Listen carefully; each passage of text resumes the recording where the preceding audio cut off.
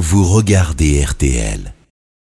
Vendredi 18 mai 2018, très bonne journée à tous. RTL, il est 7h.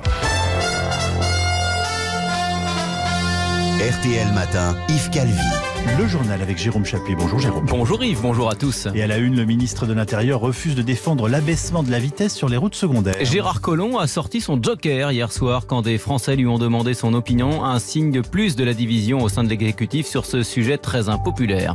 Dans l'actualité, deux nouvelles interpellations dans l'enquête sur l'attentat du quartier de l'Opéra. L'homme interrogé depuis quatre jours a lui été écroué.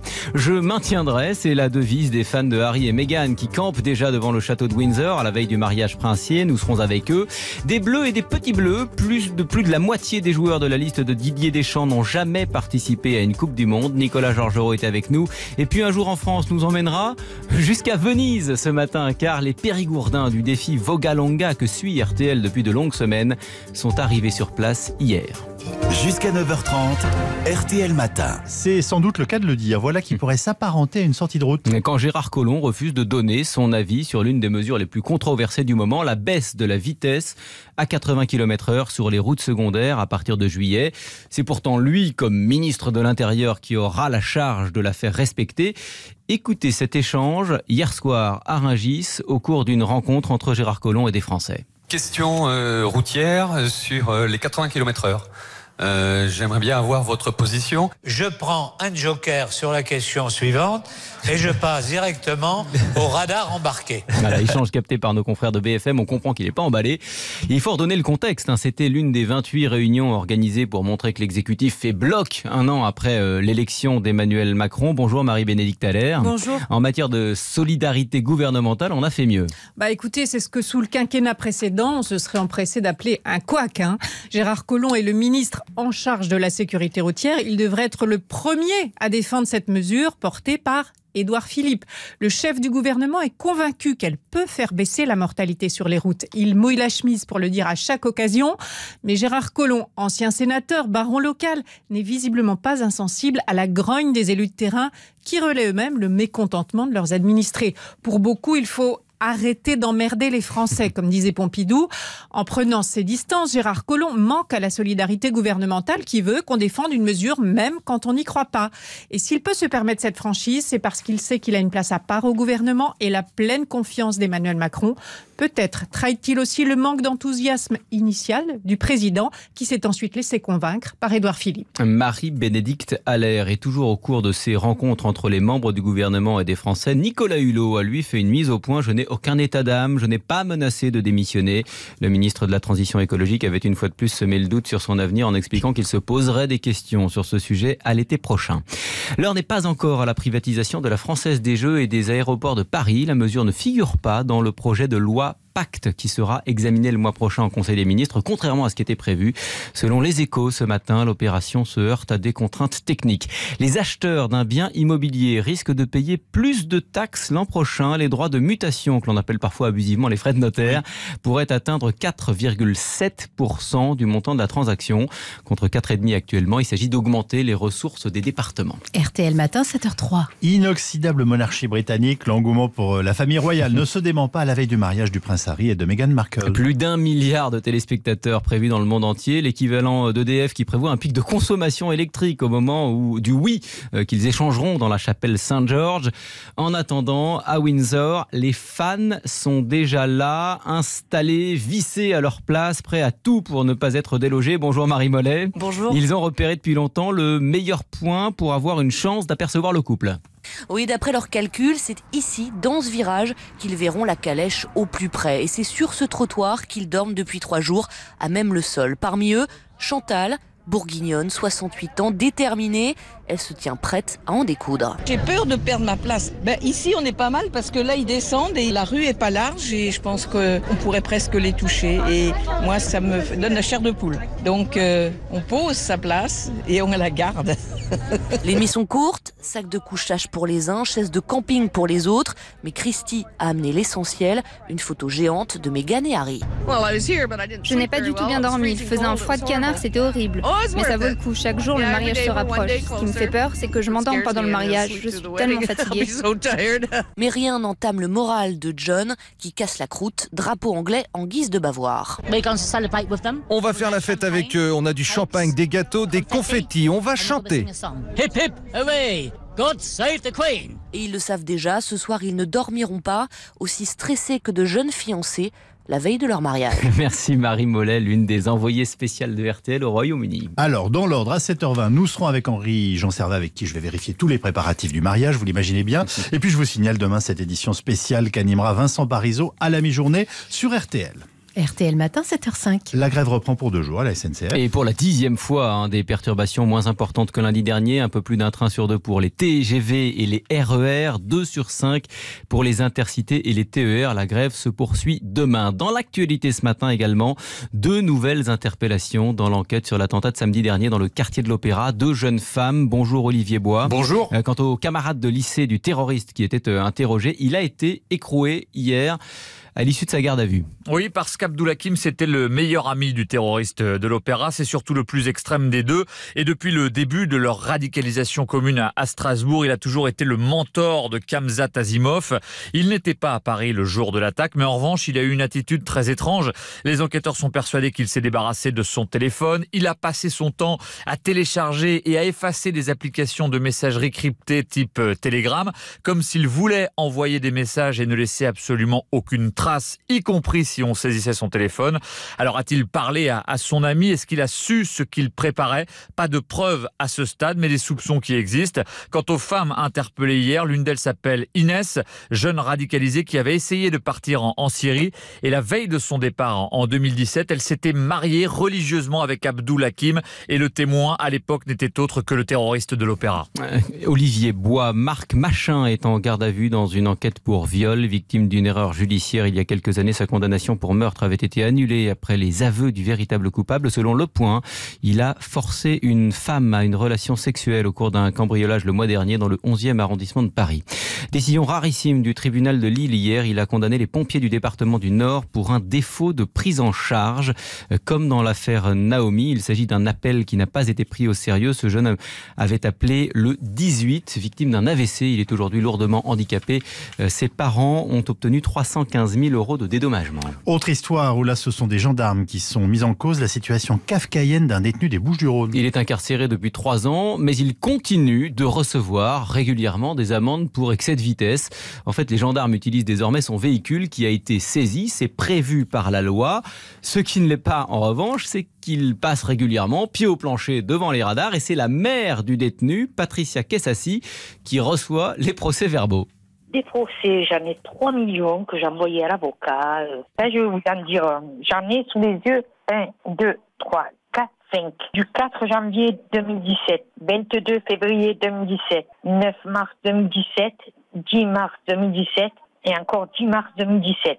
Que cela, les 5, vous savez à combien c'est monté? 1095 euros. Je ne compte pas les autres. J'ai écrit deux fois à la procureure, donc je lui ai bien dit que ce n'était pas normal, étant donné que c'était des personnes d'État, quand même de l'ordre, qui roulent avec le véhicule. Et dernièrement, avec la lettre qui me dit qu'il lui reste plus que deux points sur le permis, alors là, je savais qu'avec ce que j'ai reçu derrière, que c'était terminé, quoi. Voilà, un casse-tête. Un propos recueilli pour RTL par Mathilde Vinceneux et vérification faite. Il y a effectivement un vide juridique. Les voitures saisies restent sous la responsabilité du propriétaire, même s'il dort en prison. RTL, il est 7h08. Donald Trump adopte un ton conciliant avec la Corée du Nord. Et pourtant, Kim Jong-un menace d'annuler le sommet qui est prévu le 12 juin. Le président américain minimise les déclarations du dictateur nord-coréen. Et alors, au passage, Philippe Corbet, il s'en mêle sérieusement les pinceaux.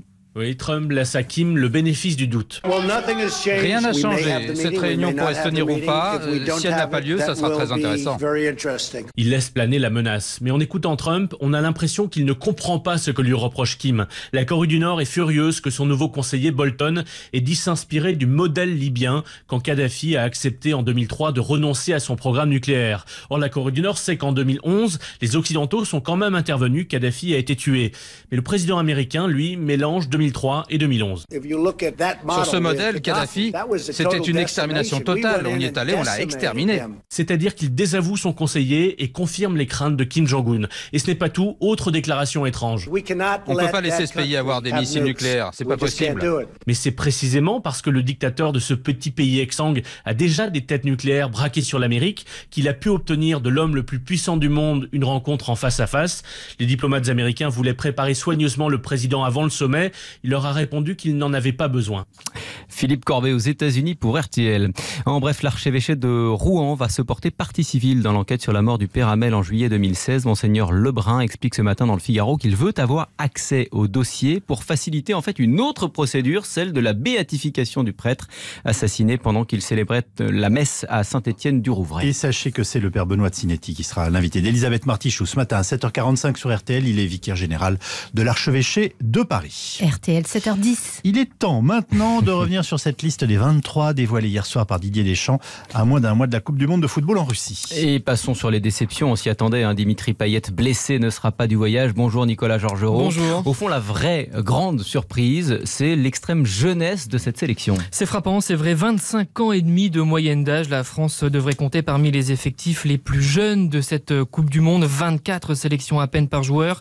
Renouvellement conséquent a reconnu Didier Deschamps. 6 de ces bleus seulement étaient présents au Mondial 2014, 9 à l'Euro il y a deux ans. Comparativement à d'autres sélections, le Brésil, euh, l'Espagne, l'Allemagne, au niveau compteur euh, sélection, on en a beaucoup moins. Ce qui n'empêche que l'ambition, oui, mais il faudra le démontrer euh, sur le terrain et en ayant l'humilité nécessaire aussi. Et ils seront 12 sur ces 23 à vivre leur première compétition avec l'équipe de France. Jeunesse, expérience, tout cela à manier avec précaution. L'Allemagne, par exemple, était à peine plus âgée que la France lorsqu'elle est devenue championne du monde au Brésil. Alors, une participation à une Coupe du Monde, ce sont des destins qui basculent. Nicolas, parlez-nous de ces visages, hein, quasi inconnus du grand public, euh, et que nous sont, serons nombreux à découvrir. oui, fait, c'est hein. par exemple Benjamin Pavard, le nordiste de 22 ans, qui joue à Stuttgart, défenseur que le sélectionneur a repéré chez les Espoirs, et heureux d'être du voyage au micro de BFM TV. Il y a un an de ça, j'étais inconnu. C'est ma première Coupe du Monde, donc euh, je vais pas vous mentir que forcément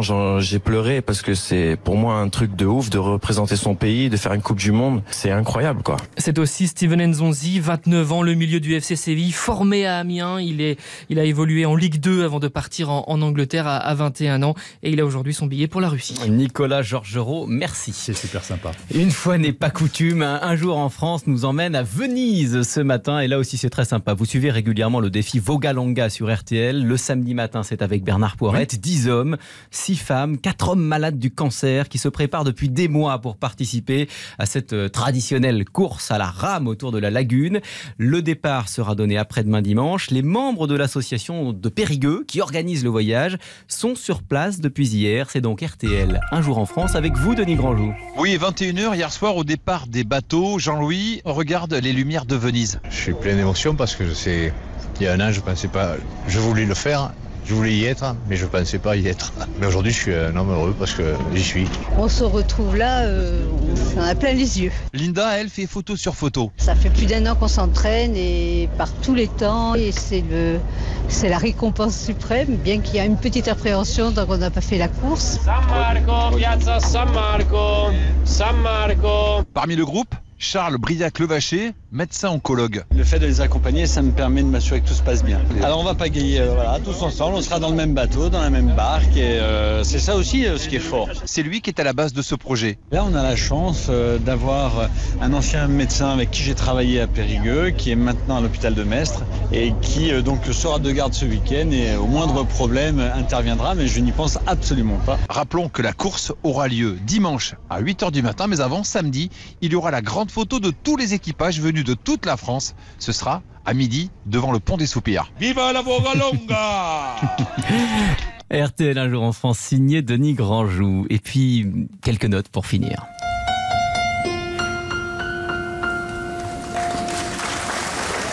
Ne me quitte pas. Voilà, cette mélodie, nous la devons à Gérard Joannest, immense pianiste, un virtuose, homme de l'ombre. C'est lui qui a composé la mélodie de Ne me quitte pas. Il a travaillé pour Jacques Brel, mais aussi, bien sûr, pour Juliette Gréco, dont il était l'époux depuis 1988. Il avait 85 ans, il nous a quittés hier. Ne me quitte pas.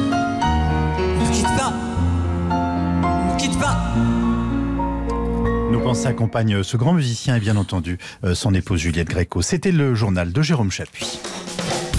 RTL Matin, 7h14 aujourd'hui. Yves, les courses sont à Vincennes. On va tout de suite écouter Caroline les pronostics de Bernard Glass. Bonjour Bernard. Bonjour Yves, et eh bien c'est encore un quintet en nocturne, mais à Vincennes ce vendredi, avec 18 trotteurs qui s'élancent tous au même poteau sur la grande piste. Voici mon pronostic. Vicomte de Corveil le 7, Vécisite le 3, Vixel l'As, Sebella Park le 4, Angelo AM le 9, Vanillette le 18, Biwan des Tyrions le 2 et Andiamo de Montchel le 11.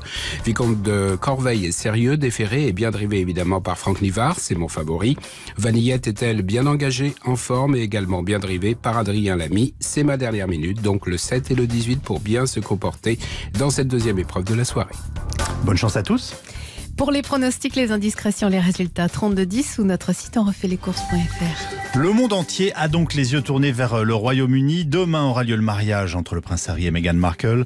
Euh, ça reste quoi qu'on en dise un événement, d'autant que celui-ci recèle d'ingrédients étonnants, originaux. On va vous expliquer pourquoi avec Henri-Jean Servat, grand spécialiste des têtes couronnées, nous rejoint dans ce studio. Dans quelques instants, nous aurons trois minutes pour comprendre. Mais auparavant, la politique avec vous, Olivier Bost, l'opposition de gauche qui se rassemble. Ensemble, on est plus fort, Olivier? Bah, Pas sûr du tout, parce qu'être ensemble, c'est aussi une façon de se sentir moins seul. A tout de suite pour l'édito politique d'RTL Matin.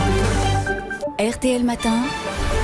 Yves Calvi. 7h17, bonjour Olivier Boss. Bonjour Yves, bonjour à tous. La CGT, les Insoumis et une cinquantaine d'organisations de gauche défileront donc le 26 mai contre la politique d'Emmanuel Macron.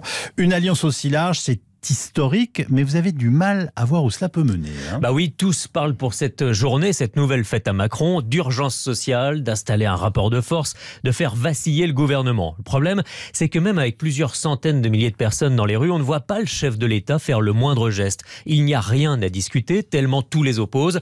La culture de la négociation n'existe ni du côté des manifestants, ils rejettent tout, ni du côté du gouvernement qui estime qu'il a raison de faire ce qu'il fait. Ce n'est même pas un dialogue de sourds, ce sont deux mondes parallèles qui ne partagent rien.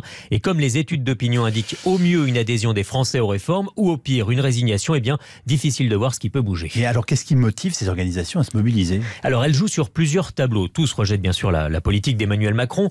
Et pour certains, ils entretiennent toujours l'idée que son élection au second tour face à Marine Le Pen est une effraction, comme l'a dit lui-même le président, qu'il n'a pas le mandat pour les réformes qu'il est en train de mener. Ils oublient tous volontairement les élections législatives qui sont venues confirmer ce choix.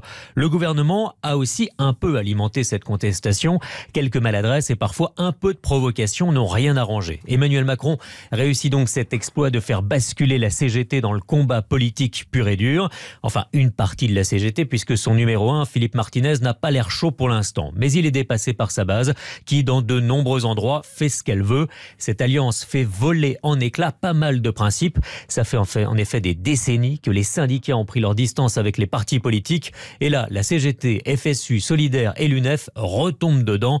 La CFDT FO, l'UNSA gardent leur distance. Alors, faut-il y voir quand même l'émergence d'une nouvelle opposition ou, au contraire le signe en fait d'une réelle faiblesse? Bah, Un peu des deux. Il se passe euh, plusieurs phénomènes en même temps. C'est vrai que cette alliance de 50 organisations euh, pour une seule et même journée dans la rue montre que les mécontentements tentent de s'agréger pour faire face à ce qu'ils appellent l'urgence sociale. Auront-ils plus de force? On verra le 26 mai à Paris, Marseille, Toulouse, etc mais ils s'agrègent aussi parce qu'ils ont tous montré des faiblesses. La France insoumise, on en a déjà parlé, a raté son troisième tour social à la rentrée dernière. Elle n'arrive pas à entraîner les jeunes dans les facs et n'arrive pas à dépasser le cercle de ses partisans les plus fidèles.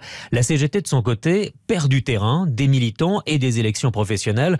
Pour elle, rejoindre ce mouvement du 26 mai ressemble plus à un sauf qui peut, une façon de retrouver un nouvel élan, de se recoller à la contestation. Pourquoi, pour l'instant, ces contestations ne portent-elles pas? Bah Parce que le gouvernement applique une technique maintenant euh, bien rodé. Il commence par dire que tout marche mal, la SNCF fonctionne mal, les services publics sont déplorables, il y a trop de chômage. C'est un constat. Ce sont des évidences qui, une fois admises, partagées, permettent ensuite de passer à l'action, de faire accepter l'idée que ça bouge, qu'il faut réformer. Comme les solutions, elles, ne sont pas partagées avant, bah c'est là que ça coince. Mais l'opinion, elle, reste sur le constat. Voilà pourquoi toutes ces organisations, aussi nombreuses sont-elles le 26 mai, sont dépassées par l'habilité du gouvernement. Elles sont donc aussi obligées de se réinventer elles ont concocté cette formule inédite, une marée humaine festive, comme elles disent, dans dix jours. Et ce sera bien toujours pour faire la fête à Macron. Les deux côtés, gouvernement, manifestants, veulent leur victoire, mais il n'y aura pas de victoire. L'issue d'une telle mobilisation est donc encore bien incertaine. Olivier Boss pour l'édito politique d'RTL Matin. Yves Calvi, RTL Matin. Pour tout savoir des coulisses de l'info. RTL Matin, 7h21, Yves Calvi. Musique royale, que dis-je, princière, que nous allons nous interroger sur les derniers jours de préparatifs avant le mariage de Meghan Markle et du prince Harry, un conte de fées dont seuls les Britanniques ont le secret et on va essayer de comprendre pourquoi. RTL Matin, 3 minutes pour comprendre. Bonjour Henri-Jean Servat. Bonjour, bonjour, je salue vos auditeurs avec plaisir. Merci beaucoup d'être avec nous ce matin. Vous êtes journaliste, spécialiste des têtes couronnées. Ce couple est quand même étonnant, non? Ah oui, c'est absolument hallucinant. Alors vous savez que une des premières choses que font les bookmakers de Londres actuellement, c'est de parier sur la couleur du vêtement de la reine d'Angleterre, la couleur qu'elle va avoir. Mm. Et donc le couple est étonnant parce que en fait, un couple a priori, on s'imagine, il a fait manger son chapeau à la reine d'Angleterre. Voilà. Quand on imagine, quand on sait ce qu'était la cour d'Angleterre il y a 80 ans, il y avait une vieille, reine qui s'appelait Mary qui avait introduit une règle, pas de divorcer. On réussit quand même à faire avaler à la reine d'Angleterre de recevoir dans sa famille, à sa cour et à ses côtés, une femme qui est plus âgée que son, que son petit-fils, qui est divorcée, qui est roturière, qui est métisse, qui n'a pas de titre, qui est actrice de cinéma. C'est c'est le- mais en fait, on s'imagine que c'est elle la plus intelligente du lot. Pourquoi? Parce que elle a compris cette fameuse phrase qui clôt le film de Visconti le Guépard. Si on veut que rien ne change, il faut que tout change. Et si on veut que rien tout change, vous voyez ce que je dis Oui, oui, bien Donc, sûr. Elle fait en c'est donc sorte pour ça que la reine a donné son consentement. mais bien sûr, mais elle a, elle a donné, je veux dire, elle est folle de rage, bien évidemment. Comment on peut imaginer que cette femme qui n'est jamais sortie de chez elle, qui était programmée pour être reine à l'âge de 10 ans, je veux dire, qui sait ce que c'est que le protocole, que l'étiquette, qui a, mais je veux dire, la vie, la vie, la, la, la, la amoindrie, je veux dire, l'a attendrie, cette femme. Elle a fait en sorte qu'il faut composer avec son époque.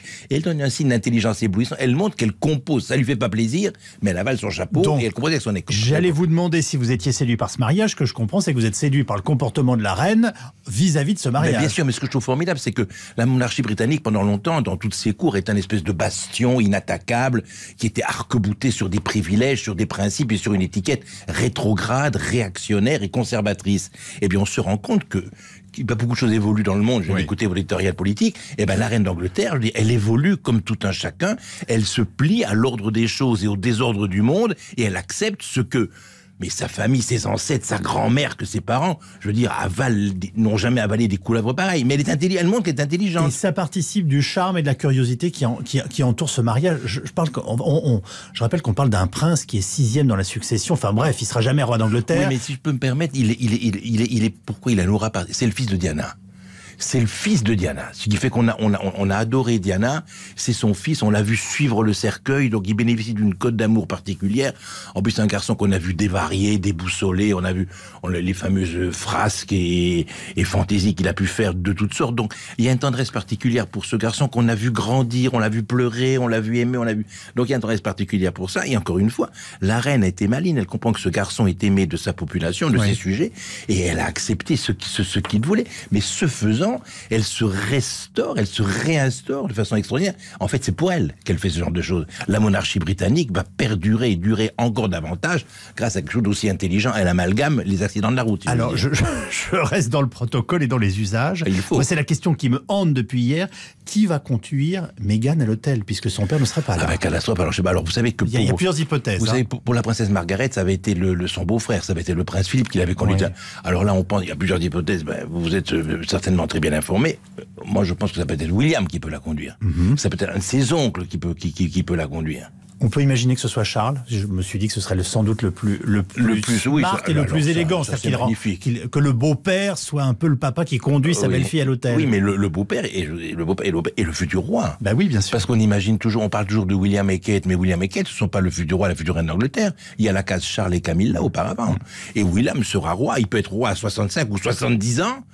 Comme, vous voyez, je veux dire, Charles peut encore vivre 20 ans. Au moins, peut vivre 20 ans. Donc, ce serait une très bonne idée que Charles l'accompagnât, si j'ose dire. Vous, vous avez effleuré la question il y a quelques instants. Le, le prince Harry, alors euh, certains s'interrogent sur sa fragilité, j'ai envie de vous dire fondamentale, qui était peut-être aussi une partie de la fragilité de sa propre maman. Oui. Euh, Est-ce que ça existe? Est-ce qu'on peut encore être surpris par ce, par ce garçon? Ben, je pense qu'il s'est stabilisé, notamment avec cette charmante Ben, ben, jeune il, femme a- il l'air, il, il a l'air, il, il a l'air de s'être stabilisé puisqu'il a l'air, il, il rayonne tous les deux. J'ai rarement vu quelque chose qui est aussi gracieux à regarder que ces deux sans être midinette, sans être mièvre, c'est plaisant à voir quand même. Ils ont l'air tout à fait contents, sympathiques. En plus, sachant quand même, même lui, je veux dire, de par de quel milieu il sort et comment il a, il a été éduqué, qu'il puisse accepter comme compagne quelqu'un de ça. Par exemple, elle milite dans les associations, dans les associations anti-chasse, par exemple. Elle va l'empêcher de chasser. Elle, va, elle lui fait manger un régime uniquement alimentaire, sans viande. Elle lui fait faire attention à beaucoup de choses. À militer de façon écologique, c'est quand même tout à fait extraordinaire, ce genre de choses dans la cour d'Angleterre. Ah, on va terminer avec ce qui nous a fait rire ce matin, les, les consignes données aussi sans invité, interdiction de porter une médaille ou de venir avec un bagage à main, interdiction de venir en transport en commun avec une épée. Vous avez un commentaire, Servat mais, mais on va pas empêcher la reine de venir avec son sac. quand Non, ça vient On va d'entendre. voir, c'est- mais c'est pas- Mais moi, je me souviens, c'est que c'est une cérémonie qui, va, ça réinstalle la, la monarchie britannique. S'il y avait des contestations particulières, il n'y en a aucune. Elle est sur son trône avec son, sa statue et sa stature encore de façon extraordinaire et pour longtemps, pour mille ans. Le mariage princier, c'est donc euh, demain. Vous le suivrez bien entendu sur notre antenne. Henri Jean, on vous retrouve d'ailleurs demain matin sur RTL dans notre édition spéciale à partir de midi et demi avec Vincent Parisot. Vous serez aussi accompagné euh, de notre ami l'historien Fabrice Dalmeda. Bonne journée à vous. Mais je vous remercie infiniment et, et à bonne demain. journée à vos auditeurs. RTL Matin, 7h26, Yves Calvi. Cyprien Signé est avec nous dans un tout petit instant. RTL Matin, les inattendus de Cyprien Signy. Cher Cyprien, c'est à vous. Eh bien, en vous écoutant parler à l'instant avec passion du mariage princier, Ah Yves, oui. je sais pas pourquoi, mais je sens que vous êtes un peu fleur bleue quand même. Oui, hein. oui, oui, ça m'arrive. Eh bien, à tous les grands romantiques qui nous écoutent, bon, aux autres aussi évidemment, vous risquez d'un peu déchanter ce matin, oui, Ah. car vous savez, le baiser, le langoureux baiser sur la bouche au coucher de soleil, sur une plage déserte, Mhm. serait en fait une fonction purement biologique de l'être humain. Vous voyez, au diable, le romantisme et la passion.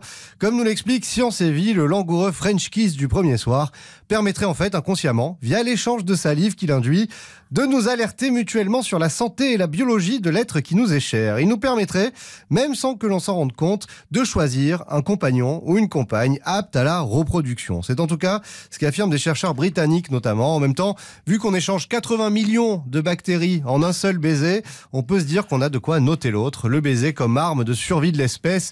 Une théorie d'autant plus surprenante que si le French kiss est largement développé chez nous, eh ben c'est pas le cas partout. Dans les îles Tonga, en Zambie, Zimbabwe, dans les tribus d'Amazonie, on s'embrasse pas sur la bouche. Ah c'est bon aussi, oui, très peu le cas plus près de chez nous, comme en Albanie ou en Serbie, selon Science et Vie, où le French kiss est très peu pratiqué. Après, fonction biologique ou pas, on a quand même l'impression que l'envie de s'embrasser sur la bouche est ancrée dans nos logiciels depuis bien longtemps. Les plus anciennes traces remontant à l'Égypte antique avec des, fres- des fresques d'il y a 3800 ans qui montrent clairement des couples en train de s'embrasser sur la bouche. Des textes indiens écrits il y a 3500 ans, eux, parlent de l'acte de, je cite, se renifler avec la bouche, ce que l'on peut considérer comme un baiser. Après, vu qu'on passerait en moyenne deux semaines de notre vie à s'embrasser, on va quand même se dire que tout cela n'est pas qu'une affaire de biologie. Ça m'a bien plu, votre inattendu. C'était Cyprien Signé. On va tout de suite écouter nos grosses têtes, Caroline. Les grosses têtes, 16h, 18h avec Laurent Ruquier, mais aussi en replay, en vidéo, en podcast sur RTL.fr pour tous ceux qui n'ont pas l'image. Écoutez, Christina Cordula décrire Philippe Manœuvre. Il porte une chemise en jean, on est rock, on n'est pas, avec une espèce de blouson noir bomber euh, super sympa, hein, avec un coton épais. Mais il est vachement, mais vous êtes vachement bien. Même le t-shirt jaune sous la chemise. Il a en un jean. t-shirt jaune. C'est pas très beau ça le t-shirt jaune. Ah oui, alors pourquoi le t-shirt jaune? Ah bah ça c'était le petit fashion C'est faux son pas. pyjama. Voilà, c'est le petit fashion faux pas, voilà. Et ça, ma Ah, le femme me le fashion dit tous faux les pas. matins. Attends. C'est pas vous voulez pas dépasser les poils? Non. Vous cachez les poils ou quoi? T'as pas parlé de mes charentaises. Alors voilà, ensuite nous avons le pantalon genre, les pantalons Ah, on est classiques, repassé sur quoi? Bernard là. Pantalon noir classique, des baskets noires et chaussettes bleues. C'est bien de me défoncer parce que ça maigrit, chérie. Mais le Ça marche carreau, pas, hein. ça augmente le volume. La De chemise toute à façon, quand je vais te choper, je serai à poil, alors tu verras rien. Oh, écoute, oh, écoute. Rendez-vous à 16h avec les grosses têtes et Laurent Ruquier sur RTL. Et bien avec tout ça, il est 7h30. RTL Matin, Yves Calvi. 7h30, le tout info avec Amandine Bégaud pour tout entendre de l'actualité de ce vendredi 18 mai. Bonjour Amandine. Eh, Bonjour Yves, bonjour à tous. Et d'abord l'abaissement de la vitesse à 80 km heure. On croyait le débat clos. Eh bien le voilà ce matin relancé et c'est le ministre de l'Intérieur qui a, si j'ose dire, remis une pièce. C'était hier soir lors d'une réunion publique à Rungis. Un participant l'interpelle sur le sujet. Écoutez sa réponse. Je prends un joker sur la question et je passe directement au radar embarqué. Le Joker de Gérard Collomb, propos recueillis par BFM TV. Joker, l'expression fait ce matin beaucoup réagir. Pas anodine, dit par exemple sur RTL l'association 40 millions d'automobilistes. Ça signifie que le ministre de l'Intérieur, lui, est vraiment opposé aux 80 km heure. Je pense que Gérard Collomb n'a pas du tout, mais pas du tout envie de se retrouver pieds et poings liés dans une mesure qui salue l'opposition de 80% des Français. Ça gronde de partout. La France est en train de se soulever gentiment. Il y a lui, il y a Gérald Darmanin, euh, il y a le ministre de la Cohésion des Territoires. Il y a énormément de ministres qui ont pris leur distance avec le Premier ministre sur cette question. Donc stop, il va falloir à un moment donné que ça cesse. J'ai l'impression que cette petite phrase n'est pas anodine et qu'on est proche, peut-être, de la fin de ce débat stupide. Peut-être qu'enfin on va écouter les Français. Pierre Chasseret, le président de l'association 40 millions d'automobilistes, joint pour RTL par Yann Boucherie.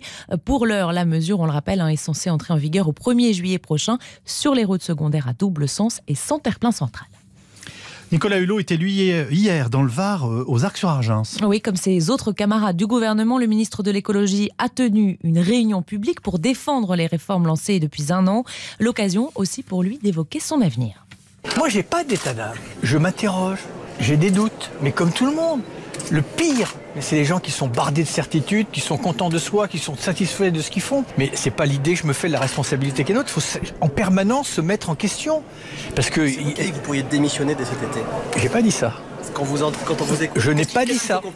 Je n'ai pas dit ça. Qu'est-ce qu'il faut comprendre? Je n'ai pas dit ça. Non, non, mais je n'ai pas dit ça. Cherchez à aucun moment. C'est un non-sujet un non-sujet, Nicolas Hulot, euh, au micro RTL de Jacques Serel. Et suite à présent euh, de l'enquête après l'attentat de samedi à Paris, et deux femmes sont toujours ce matin en garde à vue. Il s'agit de proches de Kamzat Asimov, l'assaillant, et de son ami qui lui a été mis en examen hier. Euh, c'est ce qu'a annoncé François Molins, le procureur de la République de Paris. Lors de son audition, son père a fait part de son inquiétude concernant son évolution, évoquant notamment la découverte dans l'ordinateur de son fils de vidéos avec un drapeau noir de l'État islamique. Il est en outre apparu que le 12 mai à 19h16, très précisément, l'intéressé a adressé à sa sœur, via WhatsApp, un chant djihadiste souvent repris par l'État islamique. Interrogé à plusieurs reprises par les enquêteurs, Abdullah Kima a contesté une quelconque participation ni implication dans la préparation et la commission des faits, ainsi que tout lien récent avec Kamzat Asimov prétendant ne pas l'avoir vu et contacté depuis plusieurs mois. François Molins, le procureur de la République de Paris, des propos recueillis pour RTL par Thomas Proutot. Un nouvel épisode de grève à la SNCF, le dixième, et le ton monte du côté des usagers, ceux notamment de la ligne R du RER. E Ils n'ont toujours rien obtenu, aucune indemnisation. On a commencé à zéro train et en moyenne on est 1 sur 10 depuis le début de la grève. Donc c'est-à-dire quelques trains le matin pour aller travailler, quelques trains le soir pour rentrer euh, notre travail. Donc la première chose qu'on demande déjà pour un service non rendu, se voir euh, rembourser un pass Navigo, bah 100%. Vous savez, 100% de 70 euros, 70 euh, euros quand vous avez des enfants à faire garder en plus le soir parce que vous mettez 3 heures de plus à rentrer ou que vous loupez un rendez-vous important professionnel, voire que vous perdez votre emploi, 70 euros, je veux dire, ça, ça c'est sans commune mesure. Cédric Thomas du collectif des usagers de la ligne R du RER e au micro RTL d'Éric Vanier. La ligne R où un, train sur trois devrait circuler aujourd'hui. C'est ce qu'annonce la direction. En moyenne, compter un train sur deux pour les lignes A et B, deux TER sur cinq et un TGV et un Transilien sur deux. Ce nouveau mouvement de grève doit durer jusqu'à dimanche matin 8 heures avant de reprendre mardi soir. Les grévistes, eux, devraient être fixés sur leur sort aujourd'hui concernant le mode de calcul des jours de grève sur leur fiche de paye. Le tribunal de grande instance de Bobigny examine en effet le recours déposé par les syndicats. Bonjour Martial You. Oui, bonjour. Euh, concrètement, est-ce que ça peut faire basculer le mouvement? Oui, l'enjeu est de taille surtout pour les cheminots. Sur euh, le mois de mai, par exemple, si vous prenez le calcul des syndicats, un salarié qui arrête de travailler à chaque jour de grève va perdre 12 jours de salaire. Si on suit la logique de la direction, on va lui retirer aussi 4 jours de repos supplémentaires. Les conséquences financières ne sont pas les mêmes, bien sûr. Pour la compagnie, ça ne change pas grand-chose, puisqu'elle calcule toujours que chaque jour d'arrêt de travail lui coûte 10 millions d'euros environ. Mais si la SNCF gagne, ce sera un coût psychologique très lourd pour les grévistes et, cela pourrait décourager certains cheminots. C'est aussi pour ça que, pour l'instant, les syndicats n'ont pas encore utilisé les cagnottes de solidarité. Si la justice donne raison aux grévistes, ce sera là aussi une petite victoire sur la direction qui sera bonne pour le moral des troupes et qui pourra aider à maintenir la mobilisation pendant quelques semaines encore. Martial, chef du service économique de RTL. RTL matin, 7h36. Le foot est à moins d'un mois du coup d'envoi de la Coupe du Monde en Russie. Didier Deschamps a donc dévoilé hier sa liste. Oui, 23 joueurs qui participeront au mondial, plus 11 suppléants au cas où. Une équipe rajeunie, 26 ans en moyenne. C'est d'ailleurs la plus jeune équipe tricolore depuis 20 ans. Sans surprise, Dimitri Payet, blessé avant-hier soir lors de son match avec l'OM, ne sera pas de la partie. La moyenne pour ce type de blessure, pour revenir sur le terrain et être apte à jouer, c'est trois semaines. Par rapport aux délais qui sont les miens et une liste de 23 que je dois communiquer, je le répète, le 4 juin à midi, euh, malheureusement pour Dimitri, euh, ça va pas être possible. Et Didier Deschamps, le sélectionneur de cette équipe de France sur TF1 hier soir, le plus jeune de euh, cette équipe, vous le savez, c'est Kylian Mbappé, 19 ans seulement. Euh, Ce sera sa toute première Coupe du Monde et il a fait hier son entrée au musée Grévin, une soirée décidément bien riche en émotions. C'est vraiment une fierté. Je, suis vraiment fier du résultat, de ce que ça, ça symbolise. Donc c'est c'est vraiment un, grand jour pour moi. Un autre musée dans lequel tu vas bientôt rentrer, c'est la Coupe du Monde. Ouais. Beaucoup d'autres stars. Ouais, J'attendais beaucoup de rentrer dans, dans ce musée. Bah, ce musée, il est encore, il est encore différent. C'est que voilà, c'est c'est un rêve qui, qui se réalise et j'espère qu'on va aller au- le plus loin possible dans ce rêve. Et Kylian Mbappé au micro de nos confrères du Parisien et le joueur a de quoi être satisfait. Sa statue est très réussie, beaucoup plus en tout cas euh, que celle d'Emmanuel Macron. Eux n'ont pas leur double en cire au musée Grévin, mais au musée Madame Tussaud de Londres. C'est demain que le prince Harry et Meghan Merkel se diront oui. Événement bien sûr à suivre sur RTL, édition spéciale des 12h30. Et on a appris hier qu'Elton John viendra chanter. Alors on ne sait pas encore s'il chantera cette chanson, mais ceci dit, ça pourrait s'y prêter. On ne sait pas non plus si ce sera lors de la cérémonie ou pendant la fête qui suivra. Les Spice Girls et Coldplay sont également annoncés par les médias et britanniques. Euh, moi, je vous propose ce matin d'écouter tout autre chose. Christine and the Queens, quatre ans après l'immense succès de son premier album, 1 300 000 exemplaires vendus, et bien la chanteuse dévoile son premier single, le premier single de son nouveau disque, une Christine and the Queens complètement métamorphosée d'ailleurs. Appelez-la désormais Chris, tout court. Je pense qu'il va falloir euh, s'habituer à m'appeler Chris. Parce que ce cycle qui s'ouvre avec ce premier titre et qui va être celui du deuxième album, il est euh, aussi celui de l'évolution du personnage. Et c'est une transformation, mais en même temps, c'est comme je dis, c'est continuer un geste en le rendant un petit peu plus agressif. Le son est clairement inspiré par le G-Funk. Plus de testostérone, plus de sueur, plus de rythme, euh, mais qu'on reste dans le minimalisme. T'es qui pour me traiter, pour me traiter toi?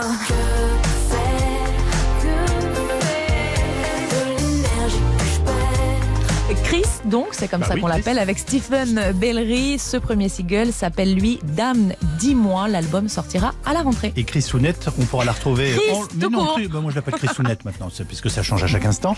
On la retrouve euh, dans, en, en longueur, l'interview sur le site RTL.fr, dans Laissez-vous tenter à partir de 9h. Nous aurons aussi rendez-vous à Cannes avec Vanessa Paradis. Aujourd'hui, c'est Beau son programme. Bah oui. C'était le tout info avec Amandine Bégaud. Oui, À tout à à l'heure tout pour à la l'heure, revue de 8h40. RTL matin, 7h39. Yves Calvi, lui, n'a pas changé de nom. Non. C'est bien François Langlais. Mais euh, dans un instant, parce que d'abord je vais faire un petit point météo avec euh, Louis Bodin, si vous le voulez bien. Cher Louis, je vous écoute. Ah, mais il n'a pas changé de nom non plus. Non plus. Avec, avec effectivement le soleil hein, qui devrait s'imposer encore plus facilement aujourd'hui. D'ailleurs, en ce moment, il n'y a pas de précipitation sur la France. Il y avait très longtemps que ça n'était pas arrivé, quelle que soit la région. On a du temps sec avec plutôt des éclaircies. Bon, il y a quand même quelques brouillards à Grenoble, Ambérieux, Guéret, Agen, Saint-Giron ou encore du côté de Belfort. Mais tout ça va vite se dissiper. Et en cours d'après-midi, c'est bien le soleil qui finira par s'imposer quasiment euh, partout, avec toutefois toujours un petit risque d'averse. Alors seulement en fin d'après-midi, et seulement sur le relief, sur les Pyrénées, le Massif central, entre les Alpes et le Jura également, du soleil et des températures, bon, toujours un petit peu juste. hein. Ce matin, il y a de la fraîcheur, 2 degrés à Beauvais, 4 à Rouen. Cet après-midi, on sera entre 15 et 17 degrés près de la Manche, 17 à 21 degrés dans la moitié nord. Vous voyez qu'on se rapproche des valeurs de saison et 21 à 24 dans le sud. Merci cher Louis et donc bonjour François Langlais. Bonjour Yves. Il y a un autre endroit où le champagne va couler à flot ce week-end et ce n'est pas à Londres, dites-moi. Et non, c'est à Paris, c'est la bourse de Paris qui a retrouvé son niveau d'il y a 10 ans. Alors qu'est-ce qui explique cet optimisme et est-ce que ça va durer? On en parle tout de suite. Tout sur le CAC 40. dans Voilà, un et appelez-moi Franc maintenant. À tout de suite, Franck. RTL Matin, Yves Calvi. 7h42, l'Angléco avec vous, François Langlais. Bonjour à tous. C'est donc la fête à la Bourse de Paris qui a retrouvé hier son niveau d'il y a 10 ans. Oui, plus 0,98% hier. L'indice CAC 40 a clôturé à 5621 points. C'est le plus haut niveau depuis le 31 décembre 2007, c'est-à-dire juste avant la grande crise qui avait vu l'effondrement des grands indices mondiaux, effondrement de plus de 60%. Après la faillite de Lehman Brothers, c'était en 2008. Ça veut dire que la crise est effacée, François. C'est vrai, au moins au plan boursier. En fait, la France est l'un des derniers pays à retrouver le niveau de cours que connaissaient les valeurs avant la crise. hein. Aux États-Unis, par exemple, l'indice boursier Dow Jones avait déjà retrouvé ce niveau d'avant la crise en 2013, il y a cinq ans. Et il est aujourd'hui deux fois supérieur à celui de l'avant-crise. Alors, on y fait euh, référence en permanence. Rappelez-nous ce qu'on appelle exactement le, le CAC 40. C'est une sélection de 40 actions, 40 entreprises qui sont cotées en bourse, donc plutôt des grandes entreprises, voire des très grandes entreprises, qui sont censées être représentatives de la cote parisienne. En fait, ce ne sont pas toujours les mêmes. hein. Régulièrement, certaines valeurs sortent du CAC et d'autres y entrent. C'est un comité d'experts qui décide de ça en fonction de la taille de l'entreprise, du nombre d'actions disponi- disponibles sur le marché. Il y a tout un tas de critères. Aujourd'hui, il y a là des entreprises comme Carrefour, L'Oréal, Michelin, Orange ou LVMH. Alors, comment s'explique la bonne santé actuelle de la Bourse de Paris? Bah, la reprise économique en Europe a maintenant plusieurs années. Euh, les profits des entreprises sont bien meilleurs et les cours montent parce que les investisseurs achètent des titres dans un double espoir. D'abord celui de recevoir des dividendes. On en parlait il y a, il y a Ah trois oui. jours. hein. C'est- Les dividendes, c'est une partie des bénéfices, celle qui est réservée aux actionnaires. Et puis ensuite, l'espoir que tous les autres fassent la même chose qu'eux, de façon à ce que les cours montent encore davantage et qu'ils puissent faire des plus-values. Il y a toujours un aspect mouton de pan- panurge hein, dans ces mouvements boursiers. Derrière la progression moyenne de l'indice, il y a de très grosses différences en- entre les valeurs, j'imagine. hein Énorme, énorme. Deux exemples. Carrefour, sur ses 10 ans de progression du CAC, a vu au contraire sa valeur divisée par deux et demi. Parce que l'entreprise a connu des fortunes managériales diverses, parce qu'elle a été impactée surtout par l'essor du commerce Internet. Bon nombre d'entreprises de distribution classiques ont vu leur valeur baisser depuis 10 ans, alors que dans le même temps, le cours de bourse d'Amazon, le géant américain du commerce en ligne, a littéralement explosé. Au point que c'est aujourd'hui l'une des entreprises qui vaut le plus cher au monde. Vous voyez que ce sont des transferts. La, bourse ne fait jamais que refléter les transformations de l'économie réelle, avec un peu d'avance ou un peu de retard, et, et souvent avec beaucoup d'exagération. Mouvement inverse, Kering, c'est un groupe de luxe fondé et possédé par François Pinault, la famille Pinault. Il possède notamment Gucci, la marque Gucci. Il a vu son cours multiplié par plus de 5 sur la même période, sur 10 ans donc. Qu'est-ce qui explique les différences de performance dont vous parliez entre l'indice français et, et l'indice américain en particulier? Bah D'abord la croissance économique. Euh, aux États-Unis, la reprise est bien plus ancienne que chez nous et elle est bien plus forte. Et puis ensuite, et ça c'est très important, la part qu'occupent les sociétés technologiques dans l'économie et dans l'indice américain, plus importante que chez nous. Ces sociétés ont une très forte croissance et elles sont prisées par les investisseurs bien davantage que celles de l'économie classique parce qu'elles offrent de meilleures perspectives financières. À elle seule, Amazon, dont on parlait tout de suite, et sa progression boursière explique 25% de la performance de l'indice américain. Amazon, toute seule, depuis le début de l'année. Et Apple, le constructeur informatique, explique, lui, 18% de cette performance. François Langlais pour l'Angléco, tous les jours sur RTL. RTL matin, 7h45, Yves Calvi. Bonjour Elisabeth Martichoux. Bonjour Yves, bonjour à tous. Vous recevez donc ce matin Monseigneur Benoît de Sinetti, vicaire général de l'archevêché de Paris. Et oui, ça l'agace qu'on lui colle l'étiquette de curé des stars. Depuis qu'il a célébré les funérailles de Johnny en direct à la télé, il préfère souligner sa présence au chevet des migrants dans le nord de Paris. Lui qui plaide pour l'accueil dans un livre qui vient de sortir. De son côté, le Vatican sermonne la finance mondiale pour son égoïsme. L'Église a-t-elle raison de s'en prendre au milieu d'affaires, y compris catholiques À tout de suite. A tout de suite, l'entretien est à suivre en direct et en vidéo sur le site rtl.fr. RTL Matin. Yves Calvi. 7h48, excellente journée à vous tous qui écoutez RTL. Elisabeth Martichoux, vous recevez donc ce matin Monseigneur Benoît de Sinetti, vicaire général de l'archevêché de Paris. Bonjour à vous et bienvenue dans ce studio d'RTL, Monseigneur de Cinetti. Vous signez ce livre, il faut que des voix s'élèvent à propos des, des migrants chez Flammarion, on va en parler. Mais un mot d'abord sur le fait que les Français, beaucoup de Français vous ont euh, découvert pendant cette messe d'obsèques de Johnny euh, à la Madeleine que vous avez euh, célébrée. C'était un, moment de communion euh, euh, nationale qui paraît d'ailleurs euh, déjà loin, je dois dire. Vous vous en souvenez, vous, comme d'un moment assez exceptionnel? Oui, je m'en souviens d'un moment exceptionnel, comme tout le monde. Voilà, beaucoup de monde, beaucoup d'émotions, une grande ferveur, une grande écoute. Euh, voilà, donc euh, ça reste évidemment un souvenir qui reste gra- gravé dans, mon, dans ma mémoire. Ça a changé quelque chose pour vous? Non, On vous reconnaît dans la rue? Non. non, non, non, ça va. Euh, et comment est-ce que vous vivez, euh, au-delà de ça, ce décalage fantastique entre cette pompe, cette célébration démesurée, en direct à la télé, à la radio, le défilé inouï de stars, et puis votre quotidien de prêtre? Ben, vous savez, on est au cœur des défis de, de ce monde. hein. C'est-à-dire qu'il y a une part de, de pompe, comme vous dites, euh, qui peut, que certains peuvent appeler spectacle. Et puis après, il y a la réalité du quotidien qui est bien loin euh, de ces moments un peu particuliers. Donc je le vis, euh, voilà, il faut pas devenir schizophrène, il faut pas devenir euh, devenir un peu fou, mais non, je le vis, je le vis, voilà, je, je, je, je, je goûte euh, tous ces moments, que ce soit euh, des célébrations importantes ou des rencontres avec les avec les personnes, Ouais. euh, voilà, quelles qu'elles soient. pas les hommes. Non, non, non. Le Vatican euh, s'en prend, euh, monseigneur de Cinetti, aux riches et aux acteurs de la finance mondiale dans un document publié, en tout cas euh, par extrait dans La Croix ce matin. Il propose des pistes C'est une charge lourde contre la puissance, je cite, la puissance de nuisance sans égale des marchés financiers. D'abord, quelle mouche le pique? Et deuxièmement, quelle est sa compétence économique pour aller euh, euh, sur ce terrain? Vous savez, c'est une vieille affaire dans l'Église, la question de l'argent, parce que dans l'Évangile, Jésus en parle avec une phrase restée célèbre et qui est très simple rendez à César ce qui est à César et à Dieu ce qui est à Dieu, à propos d'une pièce de monnaie qu'on lui présente. Et puis il dit aussi, on ne peut pas adorer euh, à la fois Dieu et l'argent, donc à vous de choisir.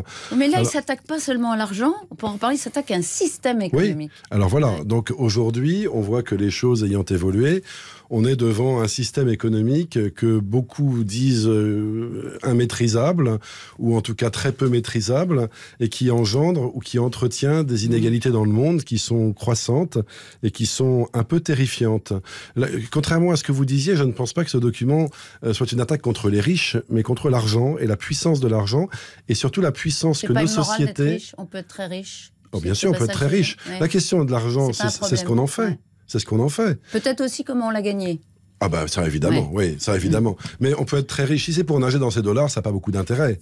Si c'est pour le redistribuer et faire que, les, faire que la vie économique, grâce à moi, puisse devenir euh, plus féconde pour les, pour les gens, eh ben c'est très bien. Oui, mais justement, l'Église, elle a souvent dit ça. Elle s'était résignée à une forme. Enfin, elle avait pris acte des inégalités et puis qui, qui était compensée par, par ce que vous dites un peu, par la charité, Oui. par les dons. Vous êtes très riche, faites des dons et puis finalement, euh, tout, tout le monde ira bien, la conscience sera, sera lavée. Là, c'est autre chose. Parce que le déplacement qui s'opère, c'est qu'aujourd'hui, on a le sentiment que l'argent devient un maître et que la question de la vie économique n'est pas simplement de favoriser le développement et la création d'activités, d'emplois, etc., mais que l'argent est, là pour l'argent.